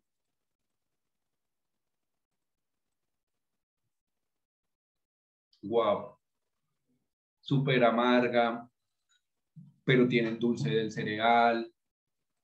Eh, no, es muy, muy, muy rica. Y a pesar de que es amarga, no es invasiva, entonces es una cerveza bien interesante, ¿vale? Eso al gusto. Eh, mientras tanto les cuento pues que la tradición eh, las cervezas, en Inglaterra las cervezas anteriormente eran llamadas ale, ¿listo? Y era el tipo de cerveza que se hacía las cervezas tipo ale. Eh, cuando le añadieron el lúpulo fue que empezaron a llamarla cerveza o beer, ¿listo? Pero también son conocidas como ale. Eh, la cerveza a Inglaterra llegó por, porque inicialmente eran importadas desde los Países Bajos, Holanda y Bélgica, y, lleva, y llegaron a Inglaterra por la ciudad de Winchester, ¿vale? Eso más o menos como hacia 1400, que comenzaron ellos a plantar lúpulos allá en la, en la, isla y ahí ya empezaron como su autonomía cervecera. Digamos que ellos tienen una tradición muy rica en el tema de las sidras. Han probado sidras, eh, es una bebida bien interesante, es una, como una cerveza de manzanas. O sea, pues la receta original es de manzanas, también las hay de pera. Eh, entonces, que no usa cereal, sino que es un fermentado de frutas. Eh, no tengo el dato exacto, pero por decir algo, si en Colombia hay cinco diferentes tipos de manzana, en el Reino Unido hay 20, 25 diferentes tipos de manzana. Entonces las sidras, pues es esta bebida, este fermentado de manzanas y de mezclas de manzanas y es muy, muy interesante. Si algún día tienen la oportunidad, pruébenla porque son bien chéveres, muy, muy chéveres. Sebas, estamos recibiendo por el interno, si nos apoyas pasando la diapositiva de la ah, cerveza Atlas. No, te quedó. Sí, Gracias. Me la... Gracias, Sebas. Me pasó con todo gusto. Eh, ah, listo, Adnans. Entonces, acá, tenemos Adnans, ¿vale? Entonces, pues es una cerveza que se elabora con tres diferentes tipos de lúpulo. En esta cerveza tenemos, cuando les decía que el lúpulo pues es uno de los ingredientes de la cerveza, pero eh, ellos, eh, hay gran variedad de lúpulos y cada uno le va a aportar diferente o tiene características muy diferentes.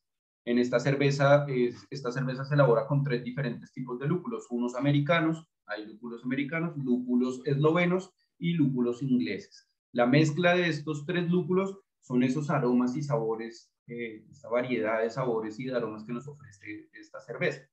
Es bastante agradable y, tiene como que cada sorbo vas descubriendo un nuevo sabor. Entonces, eso para que lo tengamos presente. Listo. Digamos que entre los países cerveceros, Alemania y Bélgica que hemos hablado, Inglaterra fue el primero que se desligó de la, de la religión y de, pues, de los monjes y las abadías en, en sus temas cerveceros. Ellos empezaron como en el siglo XVI a, a, ya abrirse o a separarse de, los, de la religión y empezaron a crear las nuevas pues, cervecerías ya privadas y todo este tema. Eh, en, en, Inglaterra generaron un impuesto a la cerveza, por allá en el año 1111-88, lo recuerdo fácil porque es, ese número. Y ellos em, crearon una, un impuesto a la cerveza supuestamente para recaudar fondos para las cruzadas. Entonces de ahí ya era que mire que hoy día el impuesto al consumo y el IVA a las cervezas, eh, que se llevan como un 30% del precio, realmente les digo eso, pues como que pongo la queja, eh, las cervezas en Colombia son caras y en su mayoría un 30% por impuestos, más que por lo que realmente sea el producto. Eh, bueno, luego entonces, como les decía, ya los ingleses pues fueron pioneros en separarse de la iglesia y hacia 1970 empezaron ya a hacer eh, grandes compañías y hacer ya cervecerías industriales y de hecho se dio origen a la gran multinacional que hoy día tiene eh, posición de, dominante en el mercado de las cervezas, que es el grupo AB InBev. Ellos son dueños más del, del 75% de las cervezas del mundo. O sea, ellos ven cerveza buena y, que se comercializa bien y van y la adquieren. Eh, algunos, de, por ejemplo, el grupo Águila Bavaria de Colombia pertenece a AB InBev BBC, por supuesto, también pertenece ya a esta gran multinacional, a InBev. Entonces, esto se dio origen en Inglaterra y ver cómo el desarrollo cervecero y ellos tuvieron una mentalidad mucho más eh, comerciante eh, que de producción de cerveza y de calidad de cerveza y empezaron a hacer ya cervecerías mucho más grandes y ahí empieza como que este mercado eh, industrial a surgir de gran forma. ¿Vale? Bueno, miremos a ver un poquito de preguntas. César Pacheco nos había preguntado por la cerveza con coca y marihuana. Bueno, son productos eh, añadidos a la cerveza que si bien le cambian un poco el sabor, no considero que eh, generen, pues, digamos, lo que, lo que este tipo de insumos generan en, en su ambiente natural. Es decir, la cerveza de marihuana y de coca no son los mismos efectos que su consumo directo, pero sí de pronto hay algo de sabor. De hecho, eh, fíjese César que eh, el lúpulo es una planta pariente de la marihuana. Algunos aromas del lúpulo eh, se asemejan y están muy cercanos a algunos aromas de la marihuana. Me lo han dicho, me lo han dicho por ahí. Lo leí, lo leí en una revista. Sebastián, perdón, te interrumpo. Tuvimos la oportunidad de probar en Córdoba una cerveza que está produciendo Bavaria a base de yuca. No sé si has oído de ella.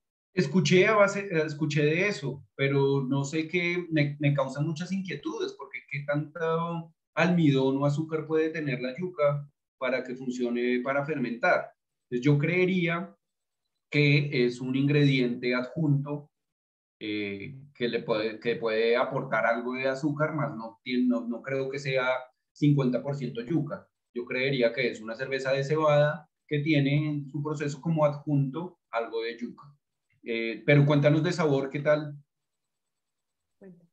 Es, es, un, es un sabor ligero. Ok. es muy, es muy lager, muy, muy lager. Muy lager, total. Pero, pero sentiste algo diferente por el tema de la yuca, de pronto, fíjate que por ejemplo, el de es radicalmente diferente, pero no, parece una cerveza comercial de las, de las más económicas, pero muy light. Ok, no, pues vale 1.300 pesos la botella. Ah, bueno, yo, tal vez es una, una, una movida industria, eh, comercial fuerte. Para posicionarlo así. Sí, pensamos que en, en, Córdoba están trabajando mucho el tema de la cervecería artesanal y, y, y pensamos, pero esto es un juicio a priori que, que, es una jugada de Bavaria un poco para desvirtuar las cervezas artesanales que se están trabajando en el departamento. Total, puede ser, no me extrañaría. Pues fíjate que un poco de la historia de Bavaria fue que eh, pues Colombia era un país en donde las cervecerías eran por regiones y cada región tenía su cervecería propia y privada. Y el grupo Bavaria lo que fue fue absorbiendo a todos, o sea, como que no, no, no, le, no voy a ganarle a mis competidores con calidad, sino que más bien los voy a absorber a todos. Y se quedaron con el, con el, con, pues, con la totalidad de la cerveza en Colombia. Entonces, eh, fíjate que cada vez que han, cada vez que el artesanal está surgiendo y está innovando, ellos, ellos reaccionan directamente. La cerveza, ellos cuando sacaron eh, Colombia Roja y posteriormente Negra, ya habían pasado unos años en donde el consumo artesanal era importante en esos estilos rojos y, y negros, que es como una clasificación de cervezas muy general, muy genérica, el, tema de clasificarlas por color.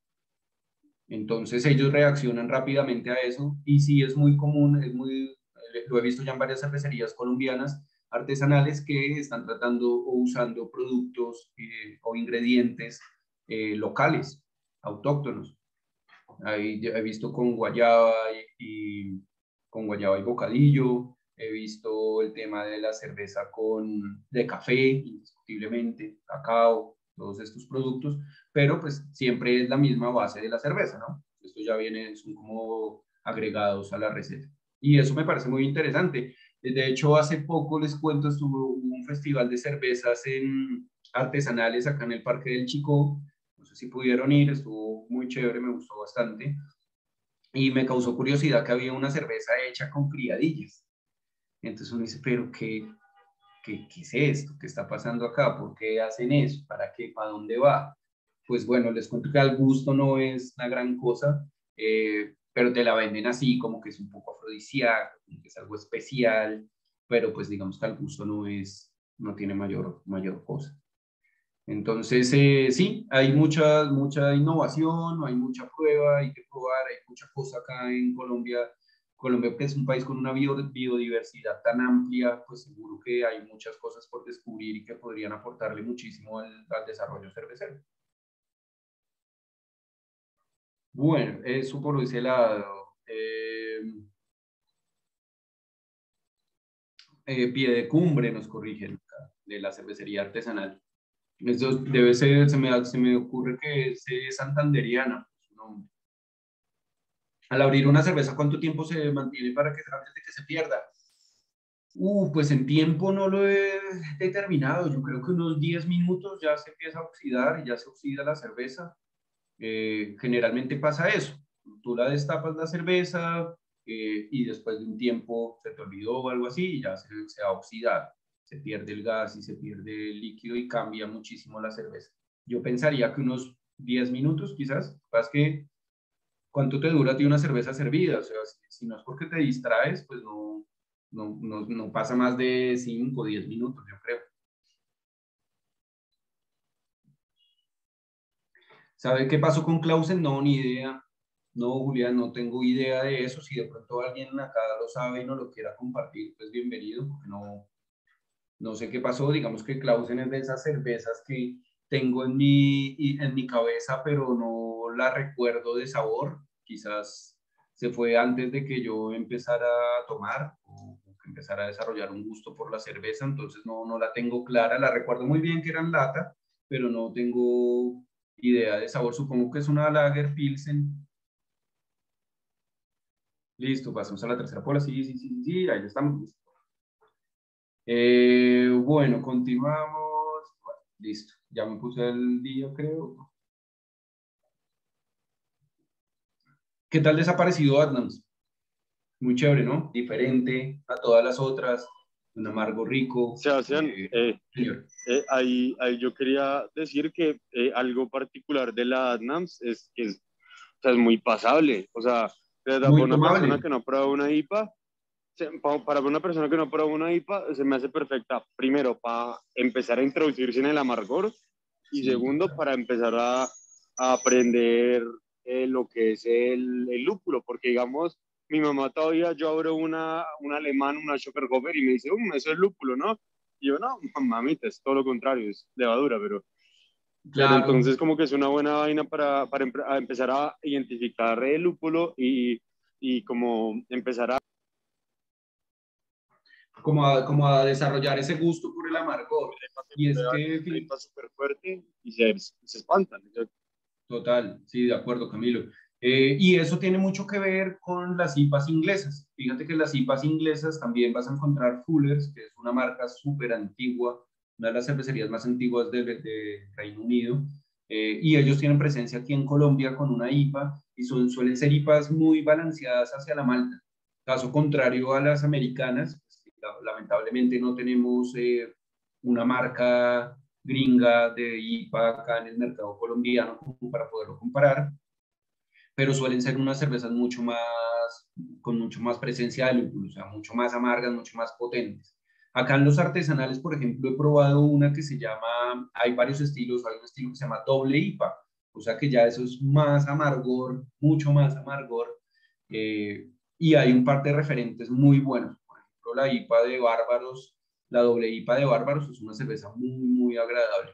Y eh, otros que están haciendo buena cerveza eh, son los de, eh, se llama La Pola del Pop, y ellos también sacan unas de temporada bien interesantes. En algún momento sacaron una doble IPA deliciosa, deliciosa, deliciosa. De hecho, acabaron de sacar una Saison con miel, que el concepto es, es hecha totalmente por pues, mujeres cerveceras, ¿no? Reivindicando el hecho de que fueron las mujeres las primeras que empezaron a hacer cerveza. Sí, señor. Y también sacaron hace, sacaron hace como, bueno, hace como un mes una, una IPA eh, baja en calorías. Sí, sí la probé esa, eh, bastante ligera, solo se percibe el amarguito, el amargor ahí suave, eh, muy interesante, fácil de tomar, pero bueno, esto con el tema del lúpulo, pues ahí eso, eso es lo que ha venido revolucionando la industria cervecera artesanal, fue, pues ya pasó un poquito de moda, pero sí entre 2000 y 2010 eh, fue el lúpulo pues el protagonista de las cervezas y todo el mundo quería más lúpulo, más lúpulo, más amargor. Y es una delicia, yo recuerdo cuando conocí la CIPA, como que, guau, se me abrió un, un universo increíble. O sea, después de haber probado las primeras IPA, dije, pues de lo que me he perdido durante tanto tiempo. Luego ya como que pasa un poco de esa afición de cervezas tan amargas y empieza, entonces surgen nuevos estilos como por ejemplo las NEIPA o New England IPA, eh, que son cervezas eh, lupulosas pero no tan amargas ni tan fuertes, un poco más como afrutadas eh, y tomables.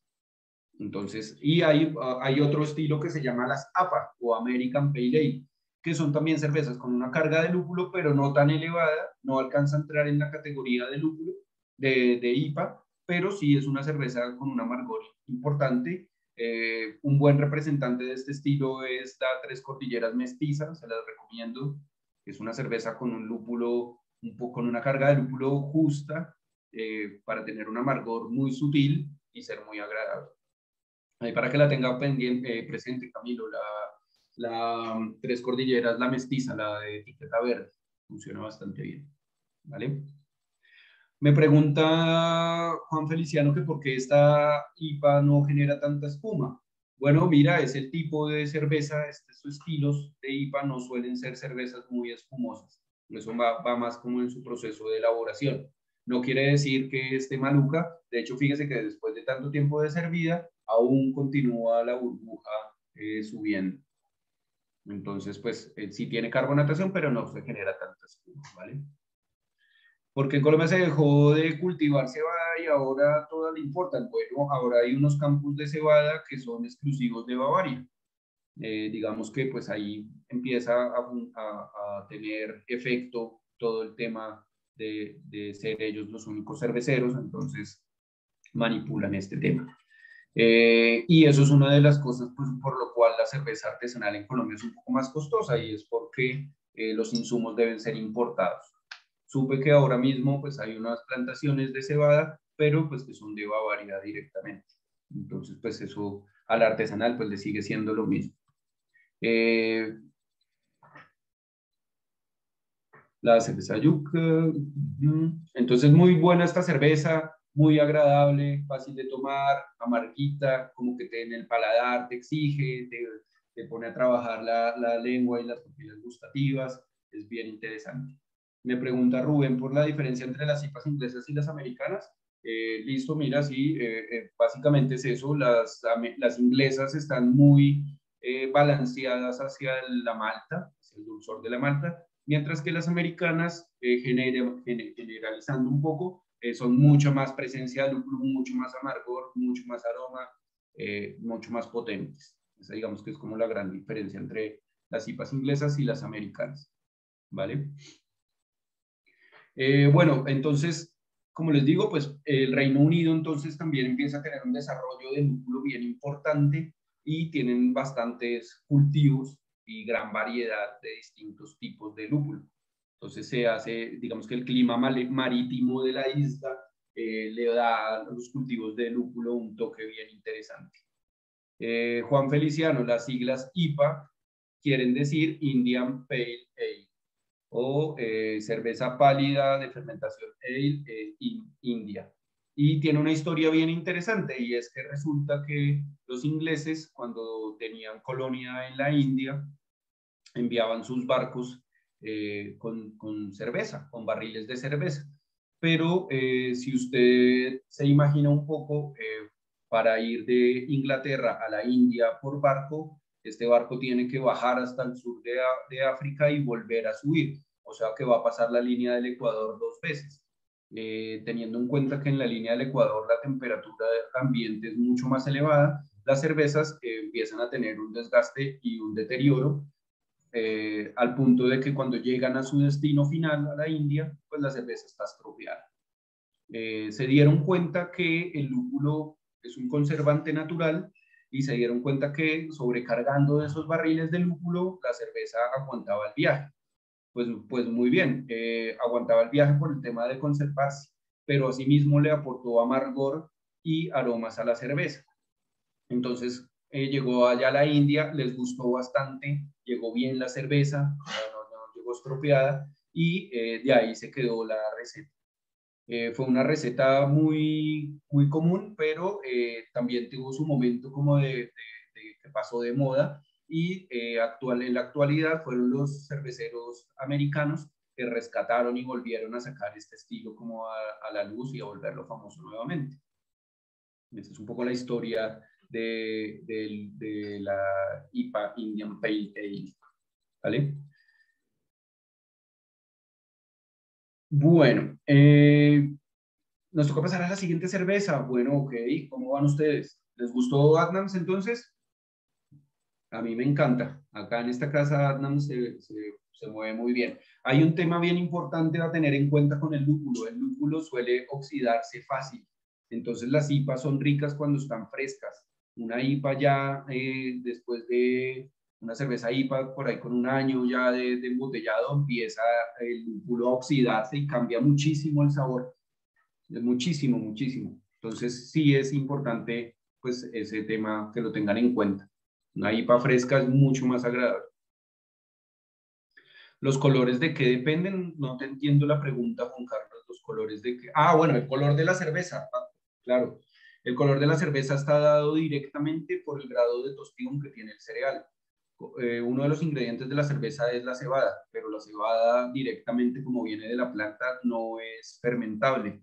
No, no, por dentro tiene una proteína que no permite que su azúcar se haga fermentable. entonces se somete a un proceso de malteado que básicamente esto es hacerlo germinar y luego, eh, y luego eh, hacerlo germinar y luego tostarlo. Dependiendo del grado de tostión va a ser el color de la cerveza. Maltas ligeramente tostadas para cervezas rubias, maltas muy tostadas o quemadas para cervezas oscuras o negras. Han notado que las cervezas negras siempre tienen ese sabor característico quemado y tostado es porque eh, para que la cerveza sea negra debe, la malta debe haberse casi que quemado. Entonces en las cervezas en los grados o los, los colores van desde amarillo pálido, casi, casi, no, pues amarillo pálido, eh, dorado, rojos, ámbar, cafés y negros. Una cerveza verde, una cerveza azul, una cerveza morada, pues ya te da a entender que hay un ingrediente que le está, que está colorando la cerveza. Pero de ahí es de donde viene el color de la cerveza. Bueno, listo, vamos con la siguiente cerveza. De una. Entonces traigamos por favor la Adnams y quiero hacer una anotación importante. Con recuerda que hablamos de la temperatura de servicio. Entonces saquemos de una vez la cerveza eh, Golden de la nevera para que vaya subiendo un poquito los grados de, temperatura, porque es una cerveza mucho más fuerte y estructurada y se disfruta a una se disfruta más y mejor a una temperatura un poco más elevada. Entonces saquémosla de una vez de la nevera para que vaya eh, subiendo un par de grados. ¿Listo? Entonces voy con la siguiente cerveza y eh, vuelvo con ustedes. Sigue Abayedol, Abayedol, eh, la blonde, que es la gordita chiquita.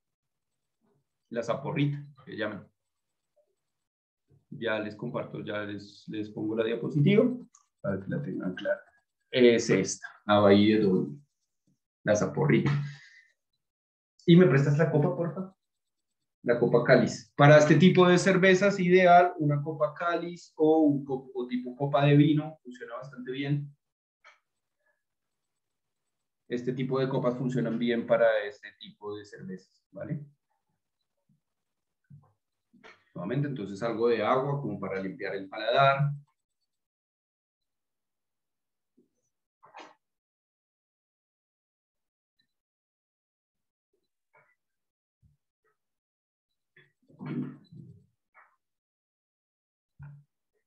Mira.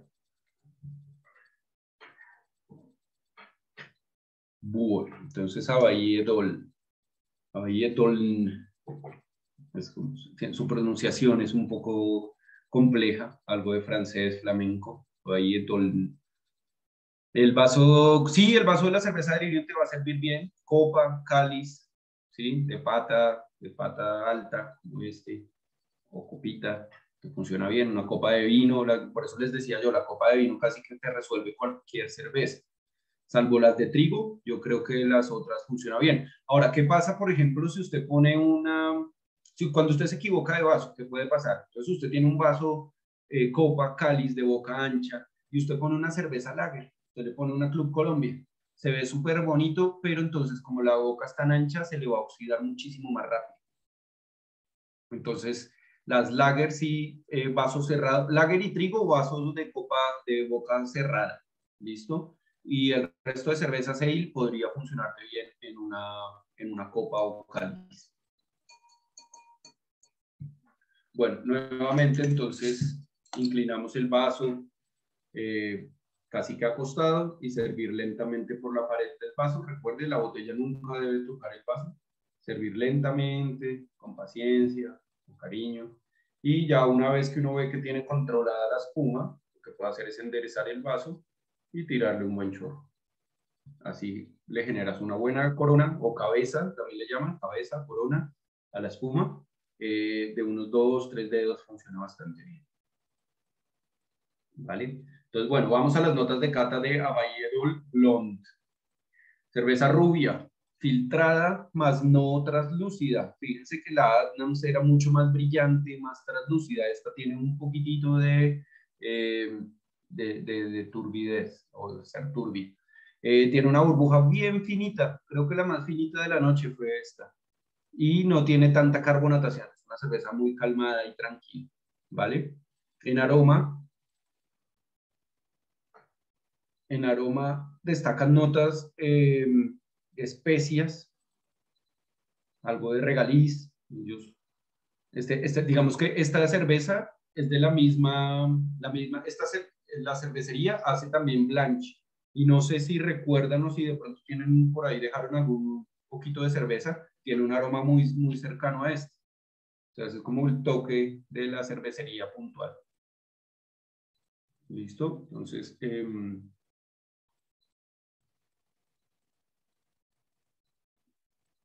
probar.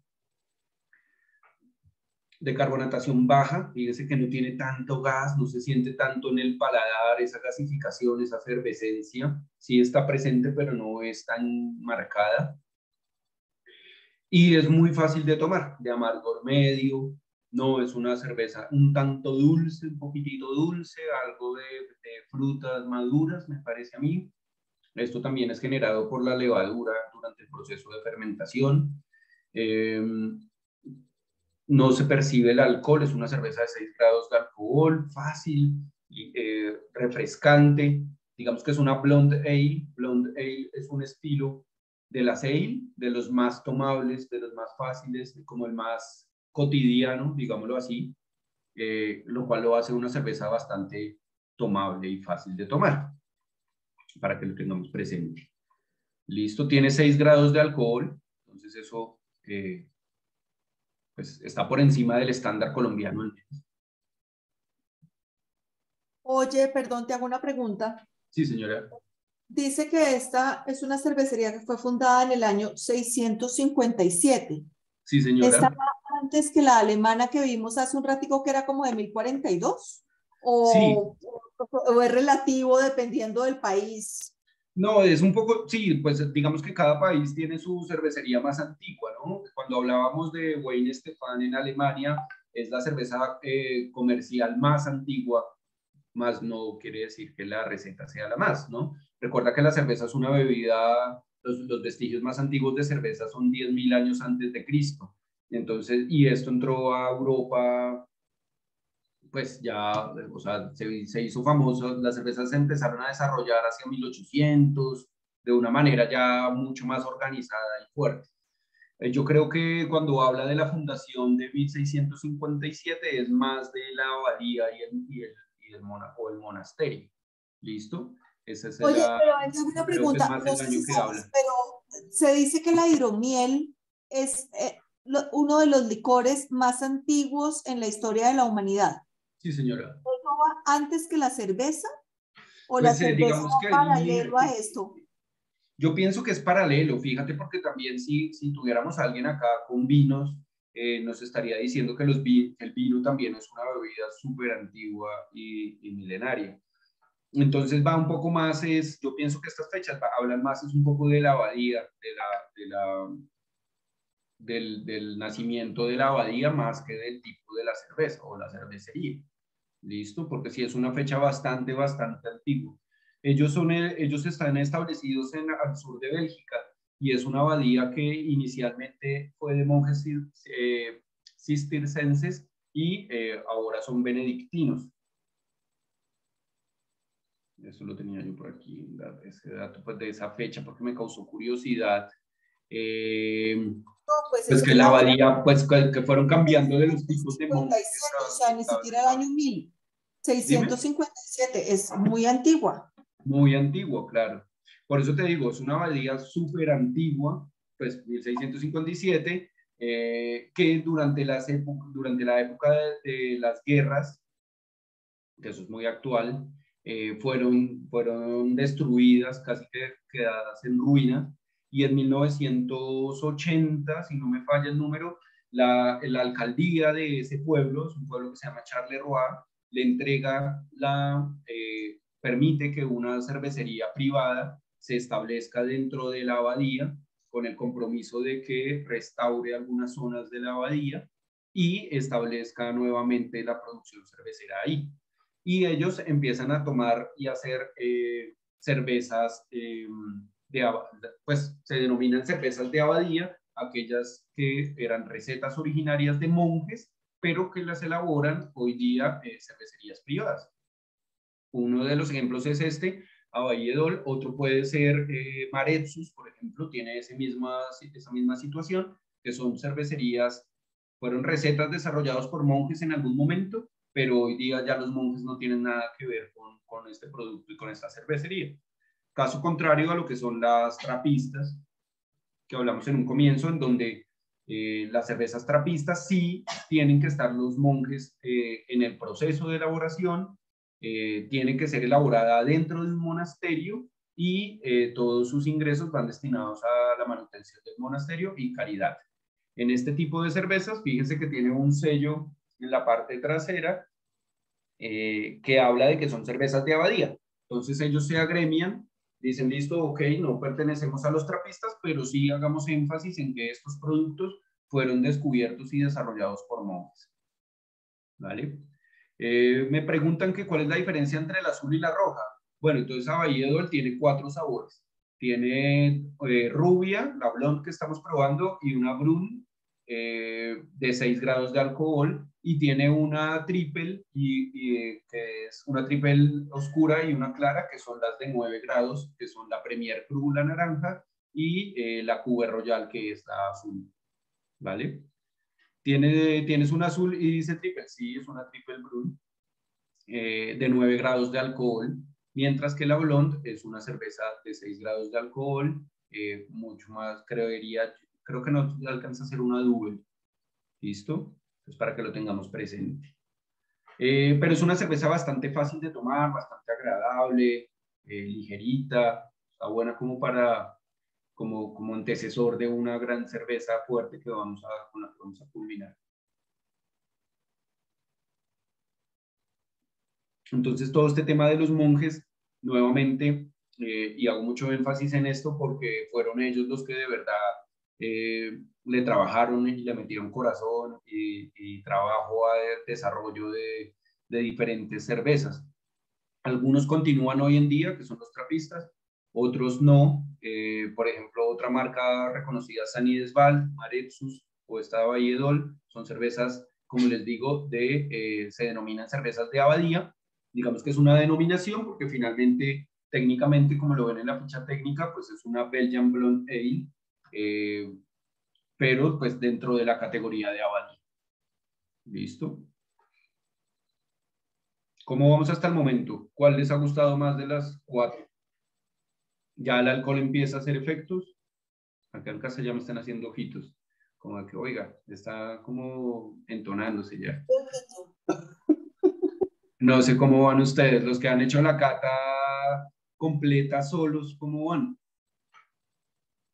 ya deben de estar bien contentos, apenas para, para comenzar el, el, viernes, ¿no? Apenas como para... Es peligroso, hacer esas caticas es peligroso. sí, es muy interesante, es muy bueno, es un ejercicio bien interesante y chévere.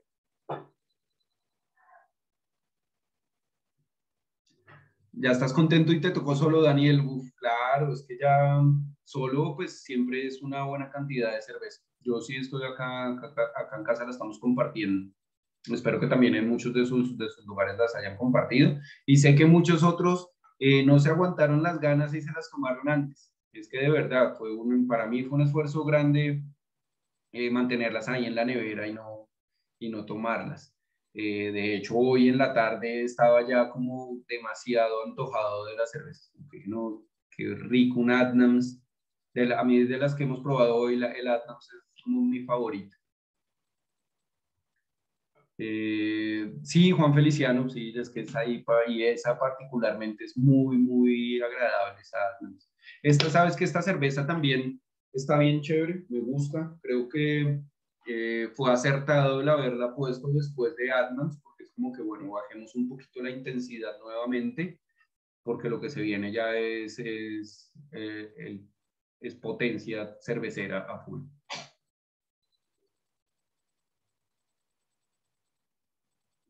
Bueno, entonces, hablando un poco de Bélgica, recordemos que la cata hoy está más enfocada a los países, más que a la cervecería hacia el producto.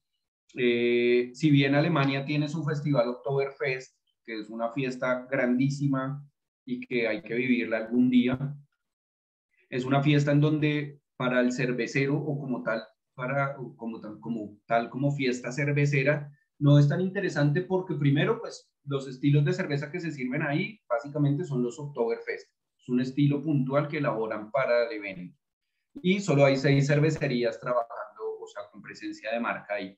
Aquí ya empieza a jugar más un poco el nombre, el, tema fiesta, música, comida, el tema social y eso, ¿vale? Pero en, en Bélgica hay un festival buenísimo que se llama el Belgian Beer Weekend.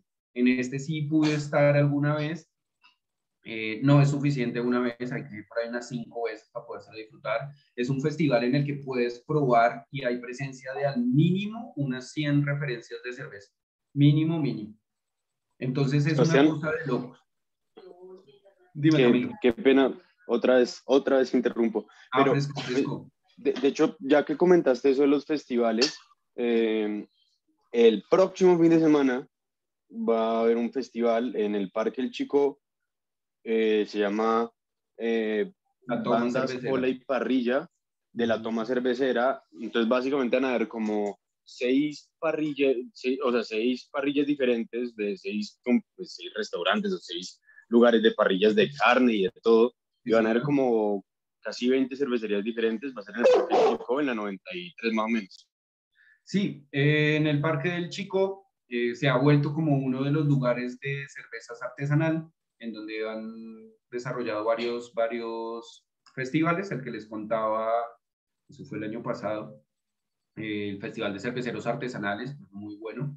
Y ahora viene, llega un festival que es de origen, o pues tiene su, ya lo han hecho varias veces en Medellín, y lo trajeron a Bogotá, que se llama La Toma Cervecera. También es un festival de cervezas artesanales, pero ellos le metieron en este concepto también eh, música, bandas en vivo y parrilla. Eso va a estar la locura. Allá nos veremos.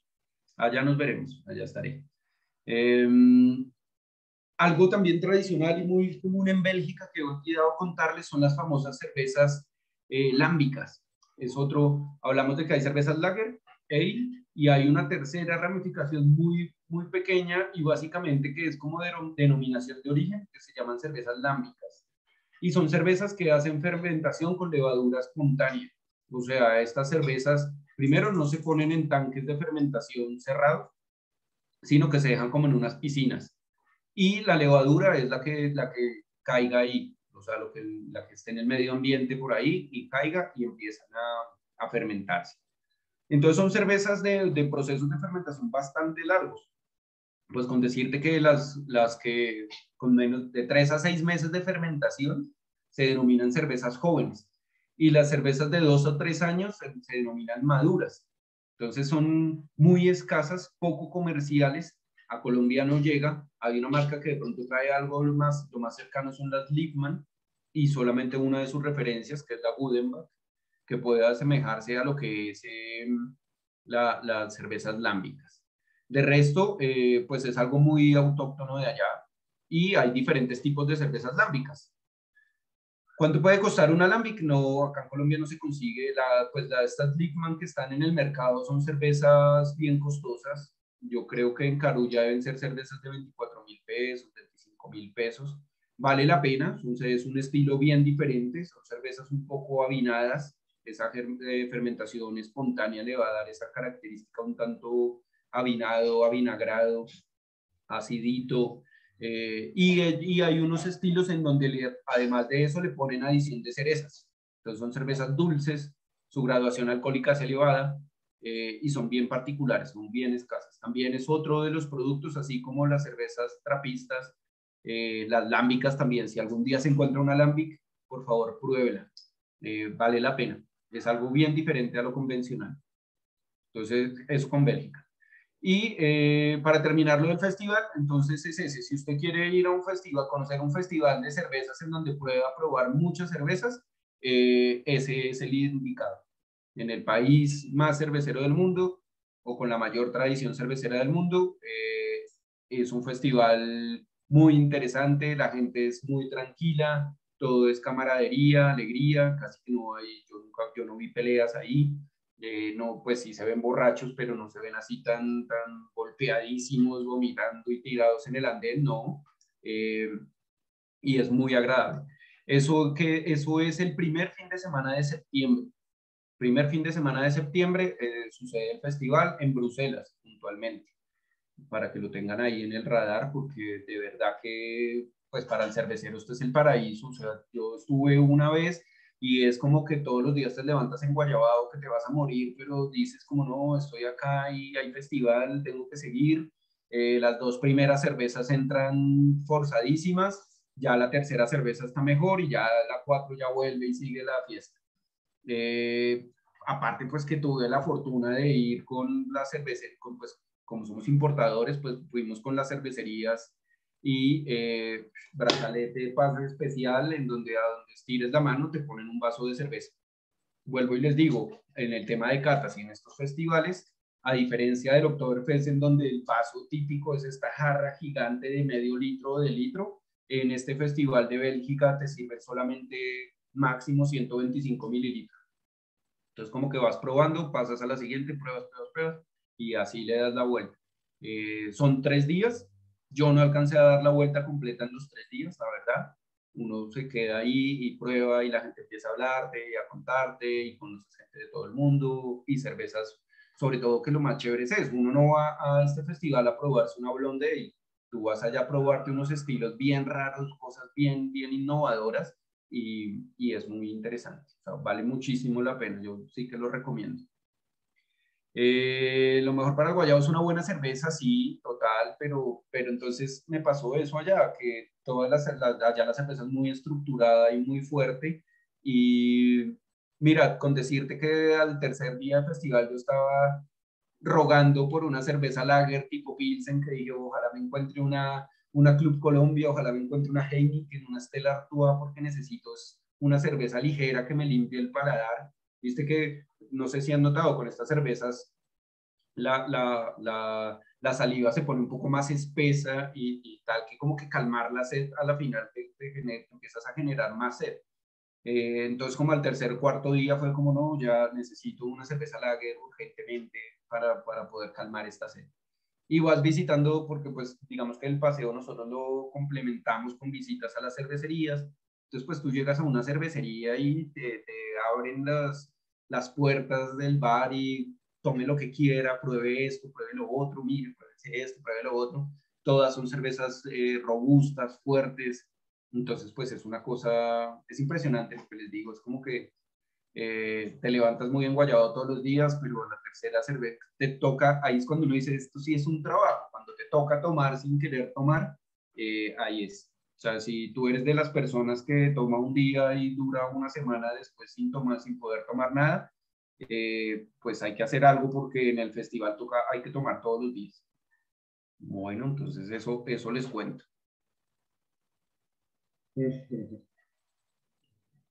Juan, sí, es un hermoso trabajo, es muy agradable, eh, pero como te digo, tiene sus momentos en los que tú no quieres o tu cuerpo no te da para tomar más y te toca hacerlo no hay nada más.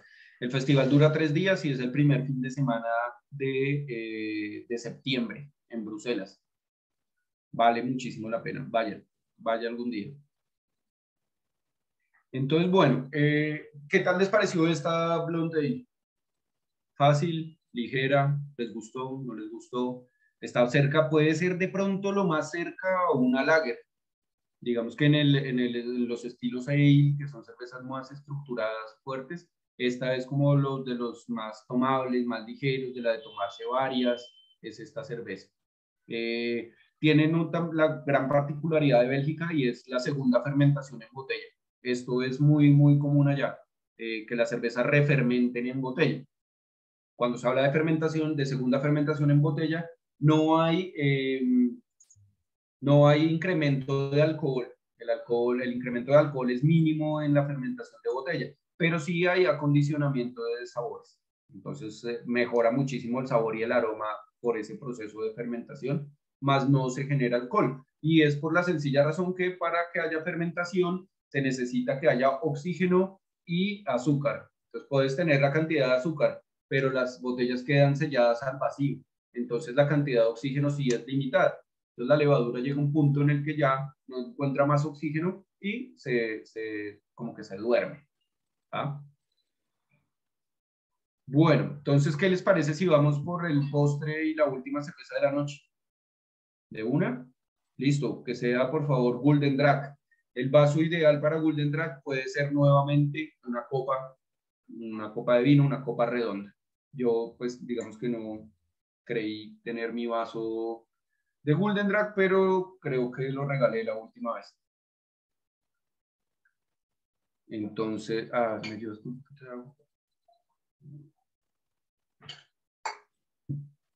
Listo, entonces vamos a poner la diapositiva de Golden. Golden Quadruple. Excelente cerveza. No bien robusta y eh, compleja. Eh, yo pensaría, y Dios siempre le digo a la gente, esta cerveza es para tomársela de tragos cortos. Esta no es una cerveza para, para tomarla rápido. Esta no es la cerveza con la que usted quiere calmar la sed. Esto es una cerveza que se asemeja más como al consumo de un vino o hasta de un destilado, en donde uno se lo va tomando con calma, con más calma que la, con la que se toma una cerveza. ¿Vale? Oye, rompo un segundo. ¿Qué diferencia hay, por ejemplo, en una cerveza como esta comparada con una Bragot? ¿Con una cuál, perdón? Con Bragot, la cerveza que se hace con hidromiel. Ah, no, pues muchísimo. ¿También 10 grados de alcohol?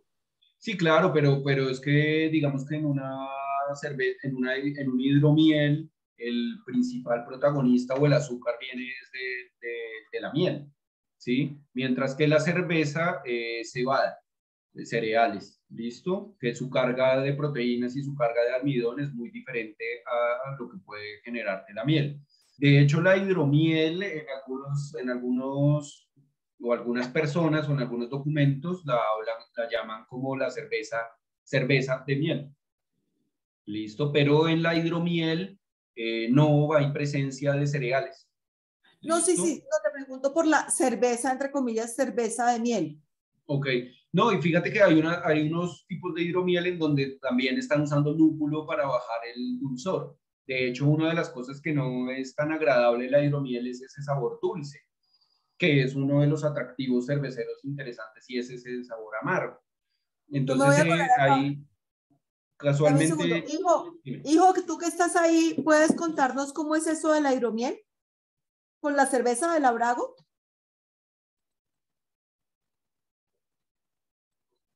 Hijo, mi hijo, mi hijo, creo que lo perdimos. Ok. ah, no, ahí está, ahí está, mira, ahí está, ahí está. ¿Puedes contarnos cómo es eso de Labrago? Eh, pues la Bragot es una cerveza mezclada con hidromiel eh, ambas maceradas al mismo tiempo y fermentadas dentro del mismo barril con levadura de vino blanco. Ah, ok. O sea que básicamente es como mezcla de cerveza, mezcla de cebada y miel eh, para, para, el proceso de la fermentación. Sí, eso es exactamente. Sí, está, es bien, pues no lo he probado, nunca he probado, pero sí me parece interesante. De hecho, esta semana estuve haciendo una investigación acerca de hidromiel y encontré que eh, suele pues, haber, pues, señor.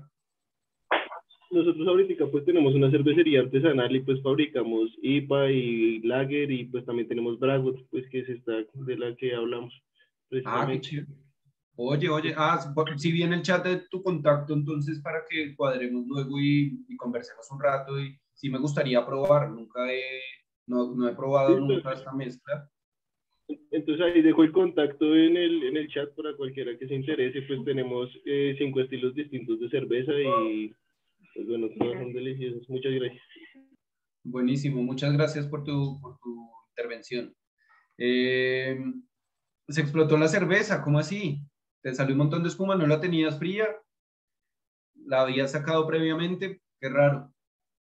Vamos a ver la mía, a ver si pasa en vivo o no. sí es un poquito más, se, suele eh, subir un poquito la espuma. Es una cerveza muy, muy carbonatada, una cerveza, em, pues digamos que expliquemos el tema de cuádruple, como les había contado, tiene cuatro veces más malta que una cerveza rubia, que la Blonde Ale anterior, por ejemplo. La Blonde Ale anterior, eh, esta cerveza tiene cuatro veces más malta.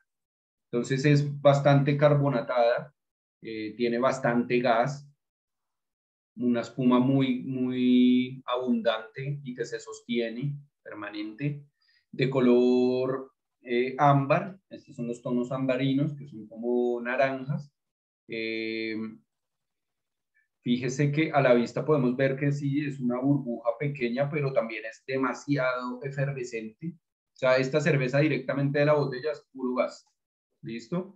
Eh, para que entonces ahí es donde entra el tema de del vaso y la oxigenación y todo eso, ¿vale? Ya las espumas de un color beige, ya no es espuma blanca, es una espuma, beige, un tanto cremosa, eh, en aroma, wow, mucho vino, el alcohol se percibe,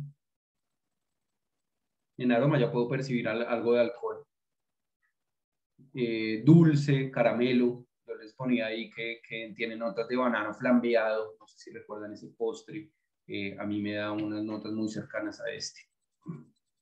¿Vale? Y, ah, bueno, probémosla pues.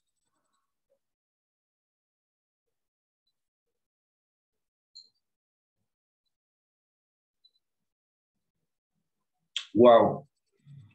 Mucho sabor, dulce, bien dulce, miel, algo de miel, em, pero tiene la presencia del lúpulo, creo que el lúpulo le ayuda bastante se siente un poquito el picante del alcohol. No sé, a mí me parece que la mía está un poquito pasada de frío. Recuerde usted que el, que el exceso de frío le opaca o le oculta sabores a la cerveza.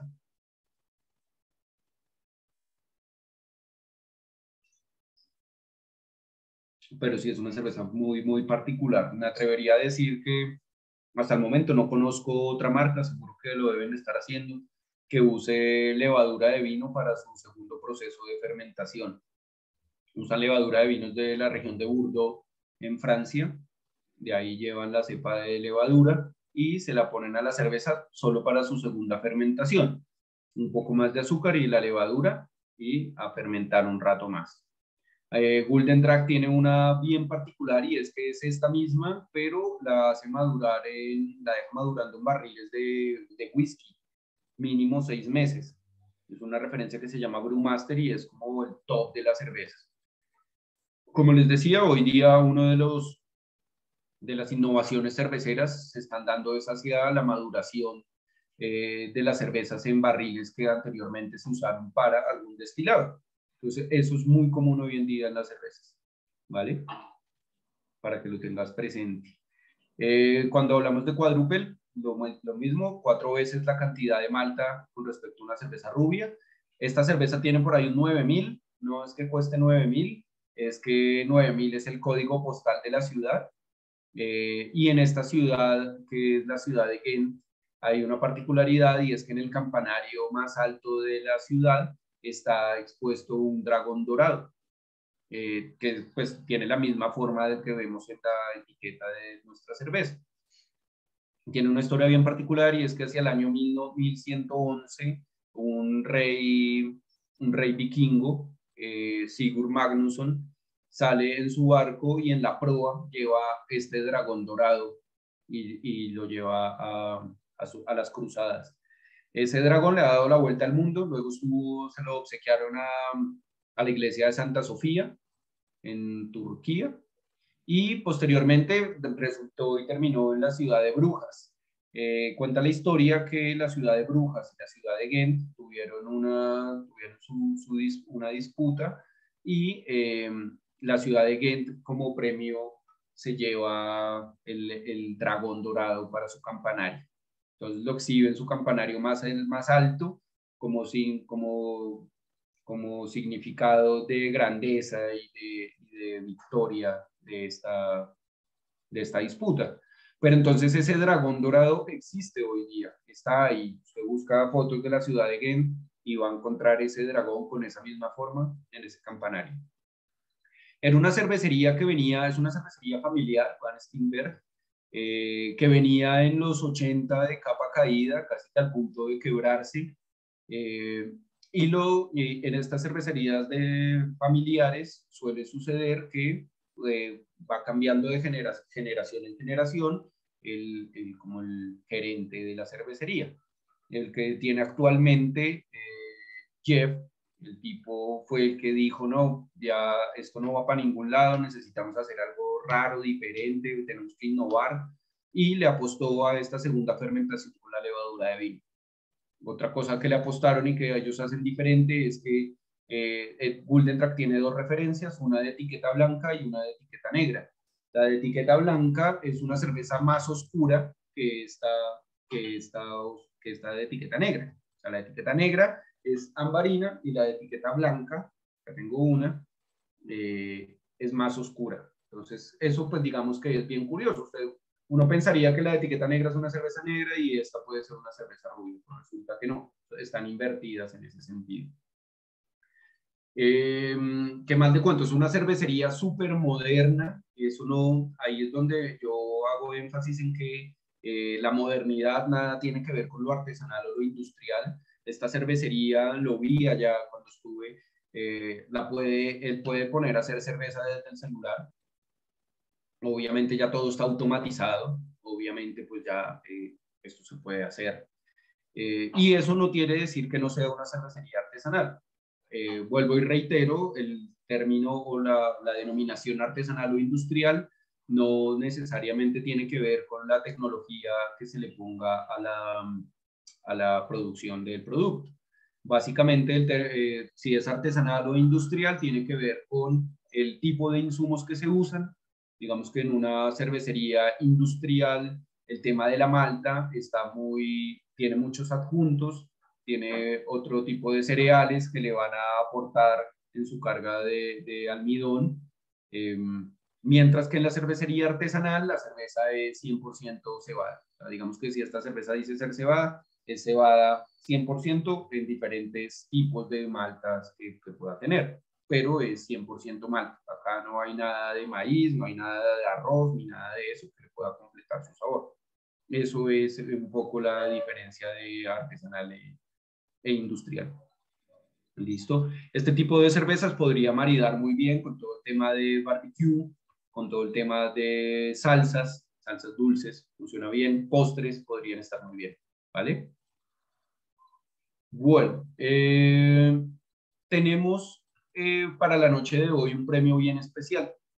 Eh, ustedes saben que siempre en nuestros eventos rifamos algo y queremos premiar la atención y la participación en el evento. Entonces, durante, durante toda la charla, pues hablamos de unas cosas muy puntuales y vamos a hacer una pregunta que es muy importante, pues digamos que ahí ya lo vamos a ver eh, en el chat. La primera respuesta eh, que esté bien, pues va a ser la ganadora de un premio que tenemos para el día de hoy. ¿Vale? Eh, salud. Oye, no hemos brindado, nadie se acordó de brindar y eso es algo muy importante en el tema cervecero. Hay que brindar, por favor. Salud, Prost, Nasdrovia, Ajo. Eh, bueno, hay muchas formas de decirlo. Escol, sí señor.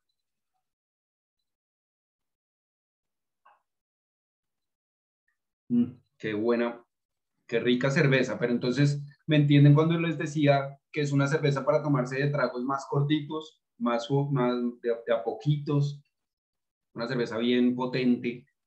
Em, imagínense que cuando viene, sí, vamos a emborracharnos, sí, así era, ¿no? Sí, claro, es la idea, Camilo. Em, y compartir sobre todo, que creo que eso lo hemos logrado muy bien. Entonces, em, recuerden que, ah, bueno, ¿cuál sería el premio?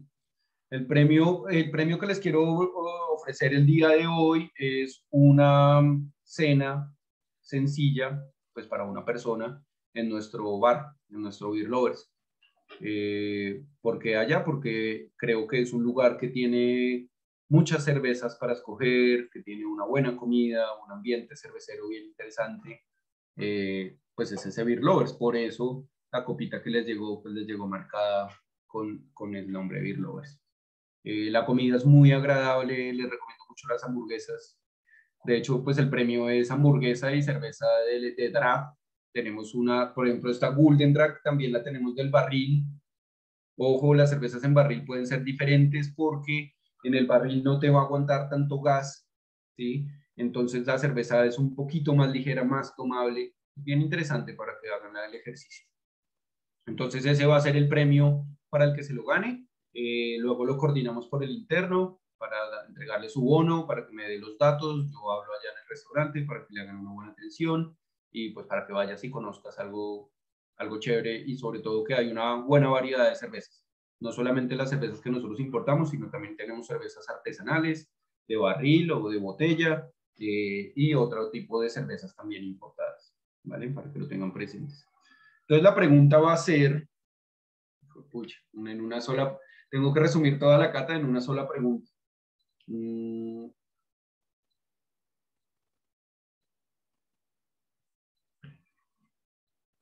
Eh, la pregunta va a ser, bueno, sí, muy sencilla, básica, fácil. ¿Cómo se llama? Es el primero que la escriba bien, por favor.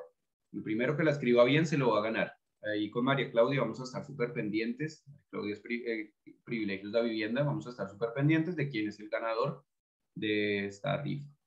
La pregunta es muy sencilla. Eh, ¿Cómo se llama la empresa importadora de estas cervezas a la cual yo represento?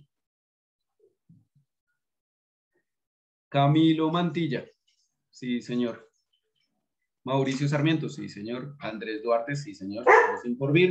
Esta información también la encuentran en las etiquetas. Recuerden, eh, algo que tiene chévere las cervezas es que las etiquetas cuentan mucha información del producto.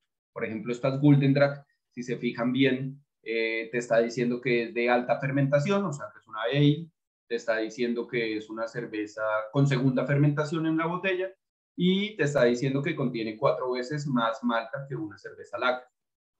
¿Listo? También la información cervecera viene el estilo. También en la información de la cerveza de la etiqueta viene quién es el importador, los datos, toda esta información, los temas de eh, la, la caducidad, la fecha de vencimiento. Esto es algo bien interesante. La cerveza no se vence. A la cerveza se le pone una fecha de consumo preferencial, en donde su, en donde su sabor está en su máximo esplendor. Pero no quiere decir que no es como un lácteo que se vence y al otro día ya se jodió. No. Eh, es una cerveza que es una bebida que no se vence. Si usted alguna vez encuentra una cerveza vencida, ligeramente vencida, eh, no, no, no le tenga miedo. Listo, de pronto va a encontrar algunas notas metálicas, de pronto va a encontrar algunas notas más alcohólicas. Listo, eso digamos que en cerveza, en, general de las cervezas. Pero, eh, pero eh, el consumo preferencial tiene una fecha. O sea, las cervezas tienen un punto máximo de esplendor y luego empiezan a decaer. ¿Listo? Hay algunas cervezas y estilos que sí son de guarda no sé, eh, hay una marca puntual que se llama Chimay, es de color, su etiqueta es azul y en la etiqueta tiene el año en la que se elaboró. Estas son cervezas de guarda que permiten guardarse y van a evolucionar bastante bien. Ah, mira, acá tenemos otra. Acá tengo una del 2021, por ejemplo. Entonces, esta cerveza trae el año porque son destinadas para guarda. Yo, en, cuando fui a Bélgica, tuve la fortuna y la fortuna de poder probar una Chimay del año 1996, casi 10 años. Y eso, qué cosa más deliciosa. Cuando una cerveza se vence con tanto tiempo, eh, y dependiendo del estilo, sí, eh, cuando se vence y, ya tiene mucho tiempo de maduración, lo que va a hacer es que va a perder la gasificación. Entonces empieza, va a ser una bebida de mucho sabor, pero con una carbonatación casi que nula, casi como un licor, un destilado, empieza a parecerse. Muy agradable, muy agradable. Eh, bueno, listo. Por acá nos decía Mauricio que porque hagamos otro premio. Ay, hágale, de una. Pero entonces hagamos otra pregunta, ¿les parece? Para que todos puedan participar. Pero definamos el, el ganador. Eh, bueno, solo quiero escuchar eh, mi nombre, ah. pero definamos el ganador. Bueno, ya acabamos de auditar. Acabamos de auditar. Felicitaciones a Camilo Mantilla. Eres el ganador de esta cata. Felicitaciones. Muy bien, gracias por tu participación. Camilo, avísame cuando vayas a ir y nos encontramos y conversamos allá un rato. Uy, aguanta, aguanta demasiado. Avísame cuando vayas a ir a redimir tu premio y yo procuro estar y, y, creo que eh, creo que yo ya te he escrito por creo que ya te he escrito por Instagram, ¿no? Por la poesía de la cerveza. Ah, bueno, listo, listo, listo. Pues avísame que eres tú. Ah, eh, listo. una cuadramos. Entonces ya te paso por interno también el bono y, y avísame si puedes y si quieres avísame cuando vayas a ir a ver si nos encontramos y conversamos un rato. No, obvio, de una. Yo ya, yo ya, yo antes me la paso ya porque vivo a una cuadra y ah, bueno. yo me, me, conozco a toda la, toda la gente allá, a todos, a todos. Es ah, bueno, muy buena gente. Y de verdad, si todos se quieren ir allá, eh, no, son, son gente muy son gente muy calidosa, todos los que trabajan allá, te aconsejan la cerveza, eh, eh, y, y, la comida es muy rica, ¿verdad? Tienen unas mazorquitas, unos tentáculos de mazorca que son pero brutales. Está muy buena, las hamburguesas son las más famosas. Bueno, yo quiero que vaya otra persona y, y, sería muy chévere si pudiéramos ir y encontrarnos al mismo tiempo los tres y compartir un buen rato. Y los que quieran, bienvenidos, ni más faltaba. Pues todos invitados, eh, pero dos, solo dos pues van a, recibir una atención especial. No, está súper bien, pero yo sí quisiera saber y preguntarte, Sebastián, soy una mamá requete intensa. No te preocupes. Eh, sí. ¿Tú cuándo estás allá para que podamos ir? Y, te lo pregunto porque mi hijo está haciendo su cervecería artesanal y, y, de verdad estamos haciendo una cerveza muy, muy buena.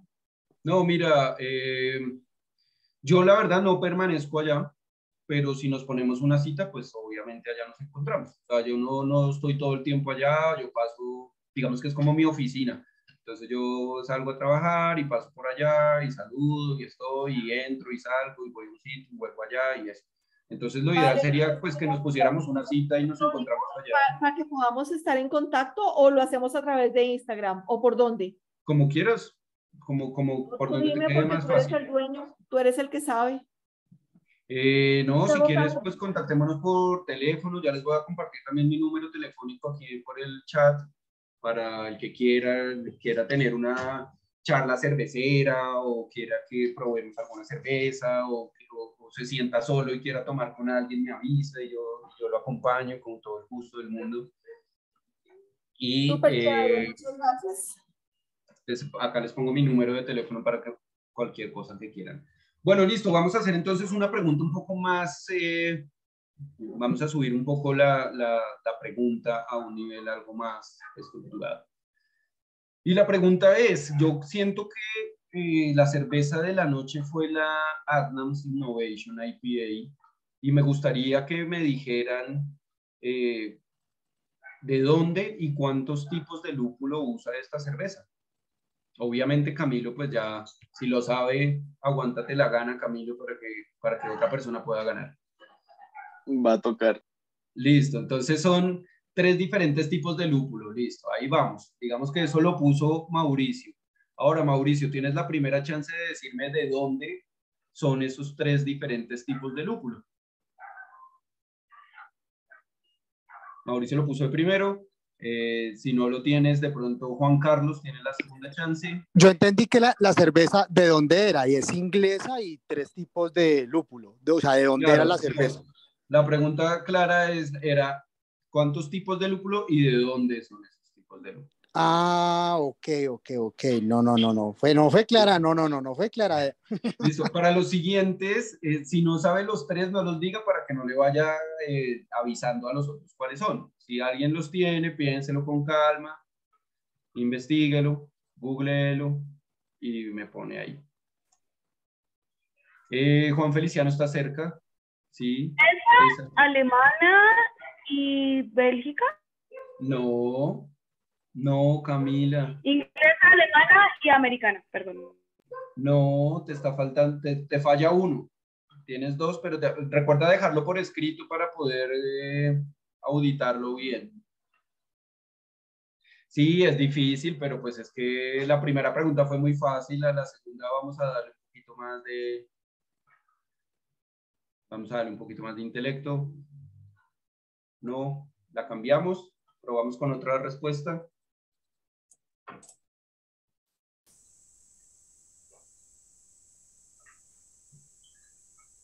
Sí, Juan, le pegaste al palo. Faltó un poquito, así como la selección Colombia, faltó un poquito. Bueno, entonces, listo, la respuesta la tengo yo, me voy a autoinvitar. Eh, uy, Carolina Jiménez, muy cerca, te falló uno. Te falló uno, Carolina. Cascade, eh, Mosaic, son diferentes tipos de lúpulos, César. Son, esos son los nombres puntuales de algunos lúpulos. Listo, acá hay uno ganador, Rubén. Rubén M. Reino Unido, Eslovenia y Estados Unidos. Esos son los diferentes, eso lo hablamos en la cata.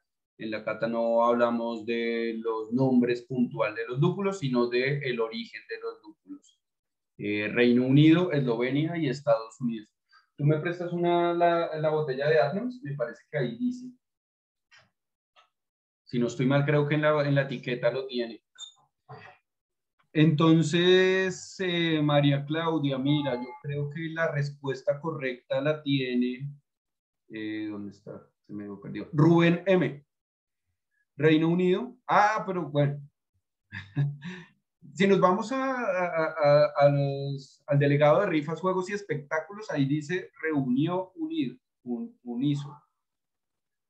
Eslovenia y Estados Unidos, esos están bien. Tenemos a Pedro Alfonso levantando la mano. Pedro Alfonso, si quieres activar. Cuéntame, cuéntanos. tu micrófono. Buenas noches. Hola, buenas noches. Eh, Sebastián, una pregunta. Eh, la, ¿Qué opinas de la cerveza Whitman? Whitman, creo que es alemana. Tiene 12% de alcohol y dice super strong. Sí. Viene en lata. ¿Sí la conoces? Viene en lata y es bastante económica. Sí, 10 mil pesos, sí. Entonces, eso huele alcohol de manos. De ahí tú te, ahí es donde uno dice como, pucha, esto, esto tan bueno y tan barato, algo tiene que haber. Eh, yo les comentaba que las cervezas de alta graduación alcohólica pues se pueden lograr, eh, tipo el caso de Guldendrag, con una levadura especial y una mayor carga de malta, de cereal para poder llegar hasta esa altura. Y eso pues eso tiene un costo y son productos que tienen un, son un poco más costosos esta Weightman y hay otros productos así, no sé si recuerden unas marcas que se llamaban Amsterdam, que tenían una Navigator y otras cosas así, que eran cervezas de 10, 12, 13 grados de alcohol, también súper económicas. Entonces son cervezas en donde llegan a ese, a ese volumen alcohólico por adición de alcohol. Entonces son mucho más de sabor, son bien complejas, bien, bien complejas, por, pues no son tan agradables realmente. Eh, y bueno, eso es lo que yo pienso. A algunos les gusta, se vende, súper comercial, se vende un montón, eh, pero pues digamos que no es, eh, o sea, no es una cerveza que llegue a ese volumen alcohólico de forma natural, sino que es ya intervenida. Entonces, pues, esa es, esa es lo que yo pienso. Sebas, de acuerdo a la auditoría y debido, ¿no? Teniendo en cuenta la dificultad de la pregunta y el momento en el que se encuentran, eh, digamos que pues el, nivel de la cata, cerrando la cata, la persona que se acerca a la respuesta, sí, definitivamente es eh, Rubén M. Así que felicitaciones a Rubén M. Eres el ganador del segundo premio de esta cata. Por favor, envíanos tu celular eh, por el interno para coordinar todo lo correspondiente al envío de tu bono. Felicitaciones. Muchas gracias por la participación. Eh, yo estaba revisando porque es que a mí se me hace que en la botella lo dice, de la de Adnams. Centennial Hops ah, y trigo.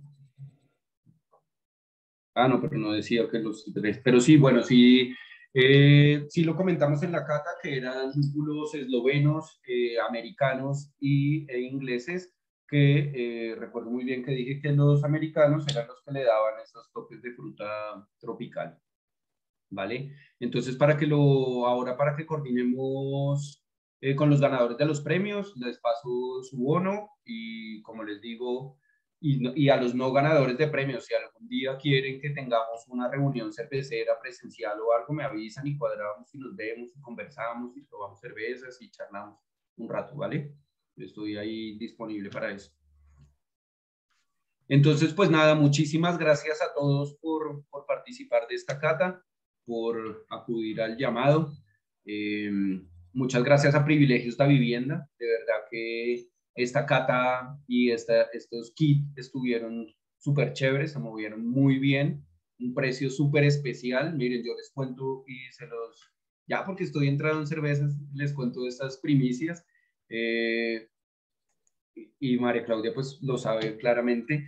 Nosotros, Privilegios de Vivienda da de verdad un privilegio en este tipo de kits y en estos eventos. De verdad que los precios son bien, bien interesantes. Eh, ellos hacen que el precio sea más bajo. O sea, realmente no es, no es el precio comercial, sino es un beneficio de privilegios de vivienda el, estos precios y este tipo de eventos. Para que sigan ahí pendientes, porque no solamente en los cervezas, yo estoy seguro que en todos los eventos que hacen privilegios, los precios son muy, muy, muy convenientes. ¿vale? Entonces, para que lo tengan ahí presente. Eh, no me queda más que agradecerles la atención, el tiempo eh, y, la disponibilidad que tuvieron hacia esta cata. A los que se aguantaron las ganas de tomarse las cervezas antes de tiempo, muy bien, felicitaciones. Los que no lo hicieron, lo entiendo perfectamente. Eh, es difícil poderse, poder resistirse a esta, a esta tentación, pero bueno, nada, ahí estamos para la próxima, nos vemos, se vienen cosas nuevas este año. No es tan fácil ni tan rápido poder traer más marcas y cervezas, pero ya estamos en ese proceso y vamos a tener de la mano de Privilegio la Vivienda eh, muchas eh, sorpresas en el transcurso del año. ¿Vale? Entonces, pues nada, muchísimas gracias a todos y salud. Una cosita. Señor. Eh, eh, sobre lo que te había comentado de la grabación, o sea, como, como ya vamos a terminar la reunión, ahí, ahí cómo hacemos, o sea, pues ya ahorita llega, llega mi amigo, se demoró el... el, ¿Y tu amigo qué se va a tomar si usted ya se las tomó? No, yo no, o sea, yo no me las he tomado. Ah. Por eso fue que yo gané, porque estoy sobrio.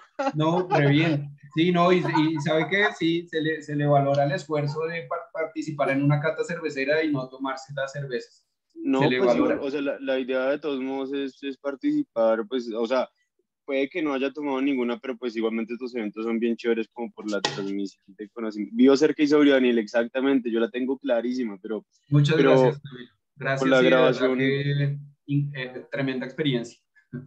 Totalmente. Ahí te, voy a comentar el correo o algo. De una, de una. De una. Entonces, eh, a los ganadores. Señor. Eh, invitado a nuestra cervecería, queda en Huasca. Gracias.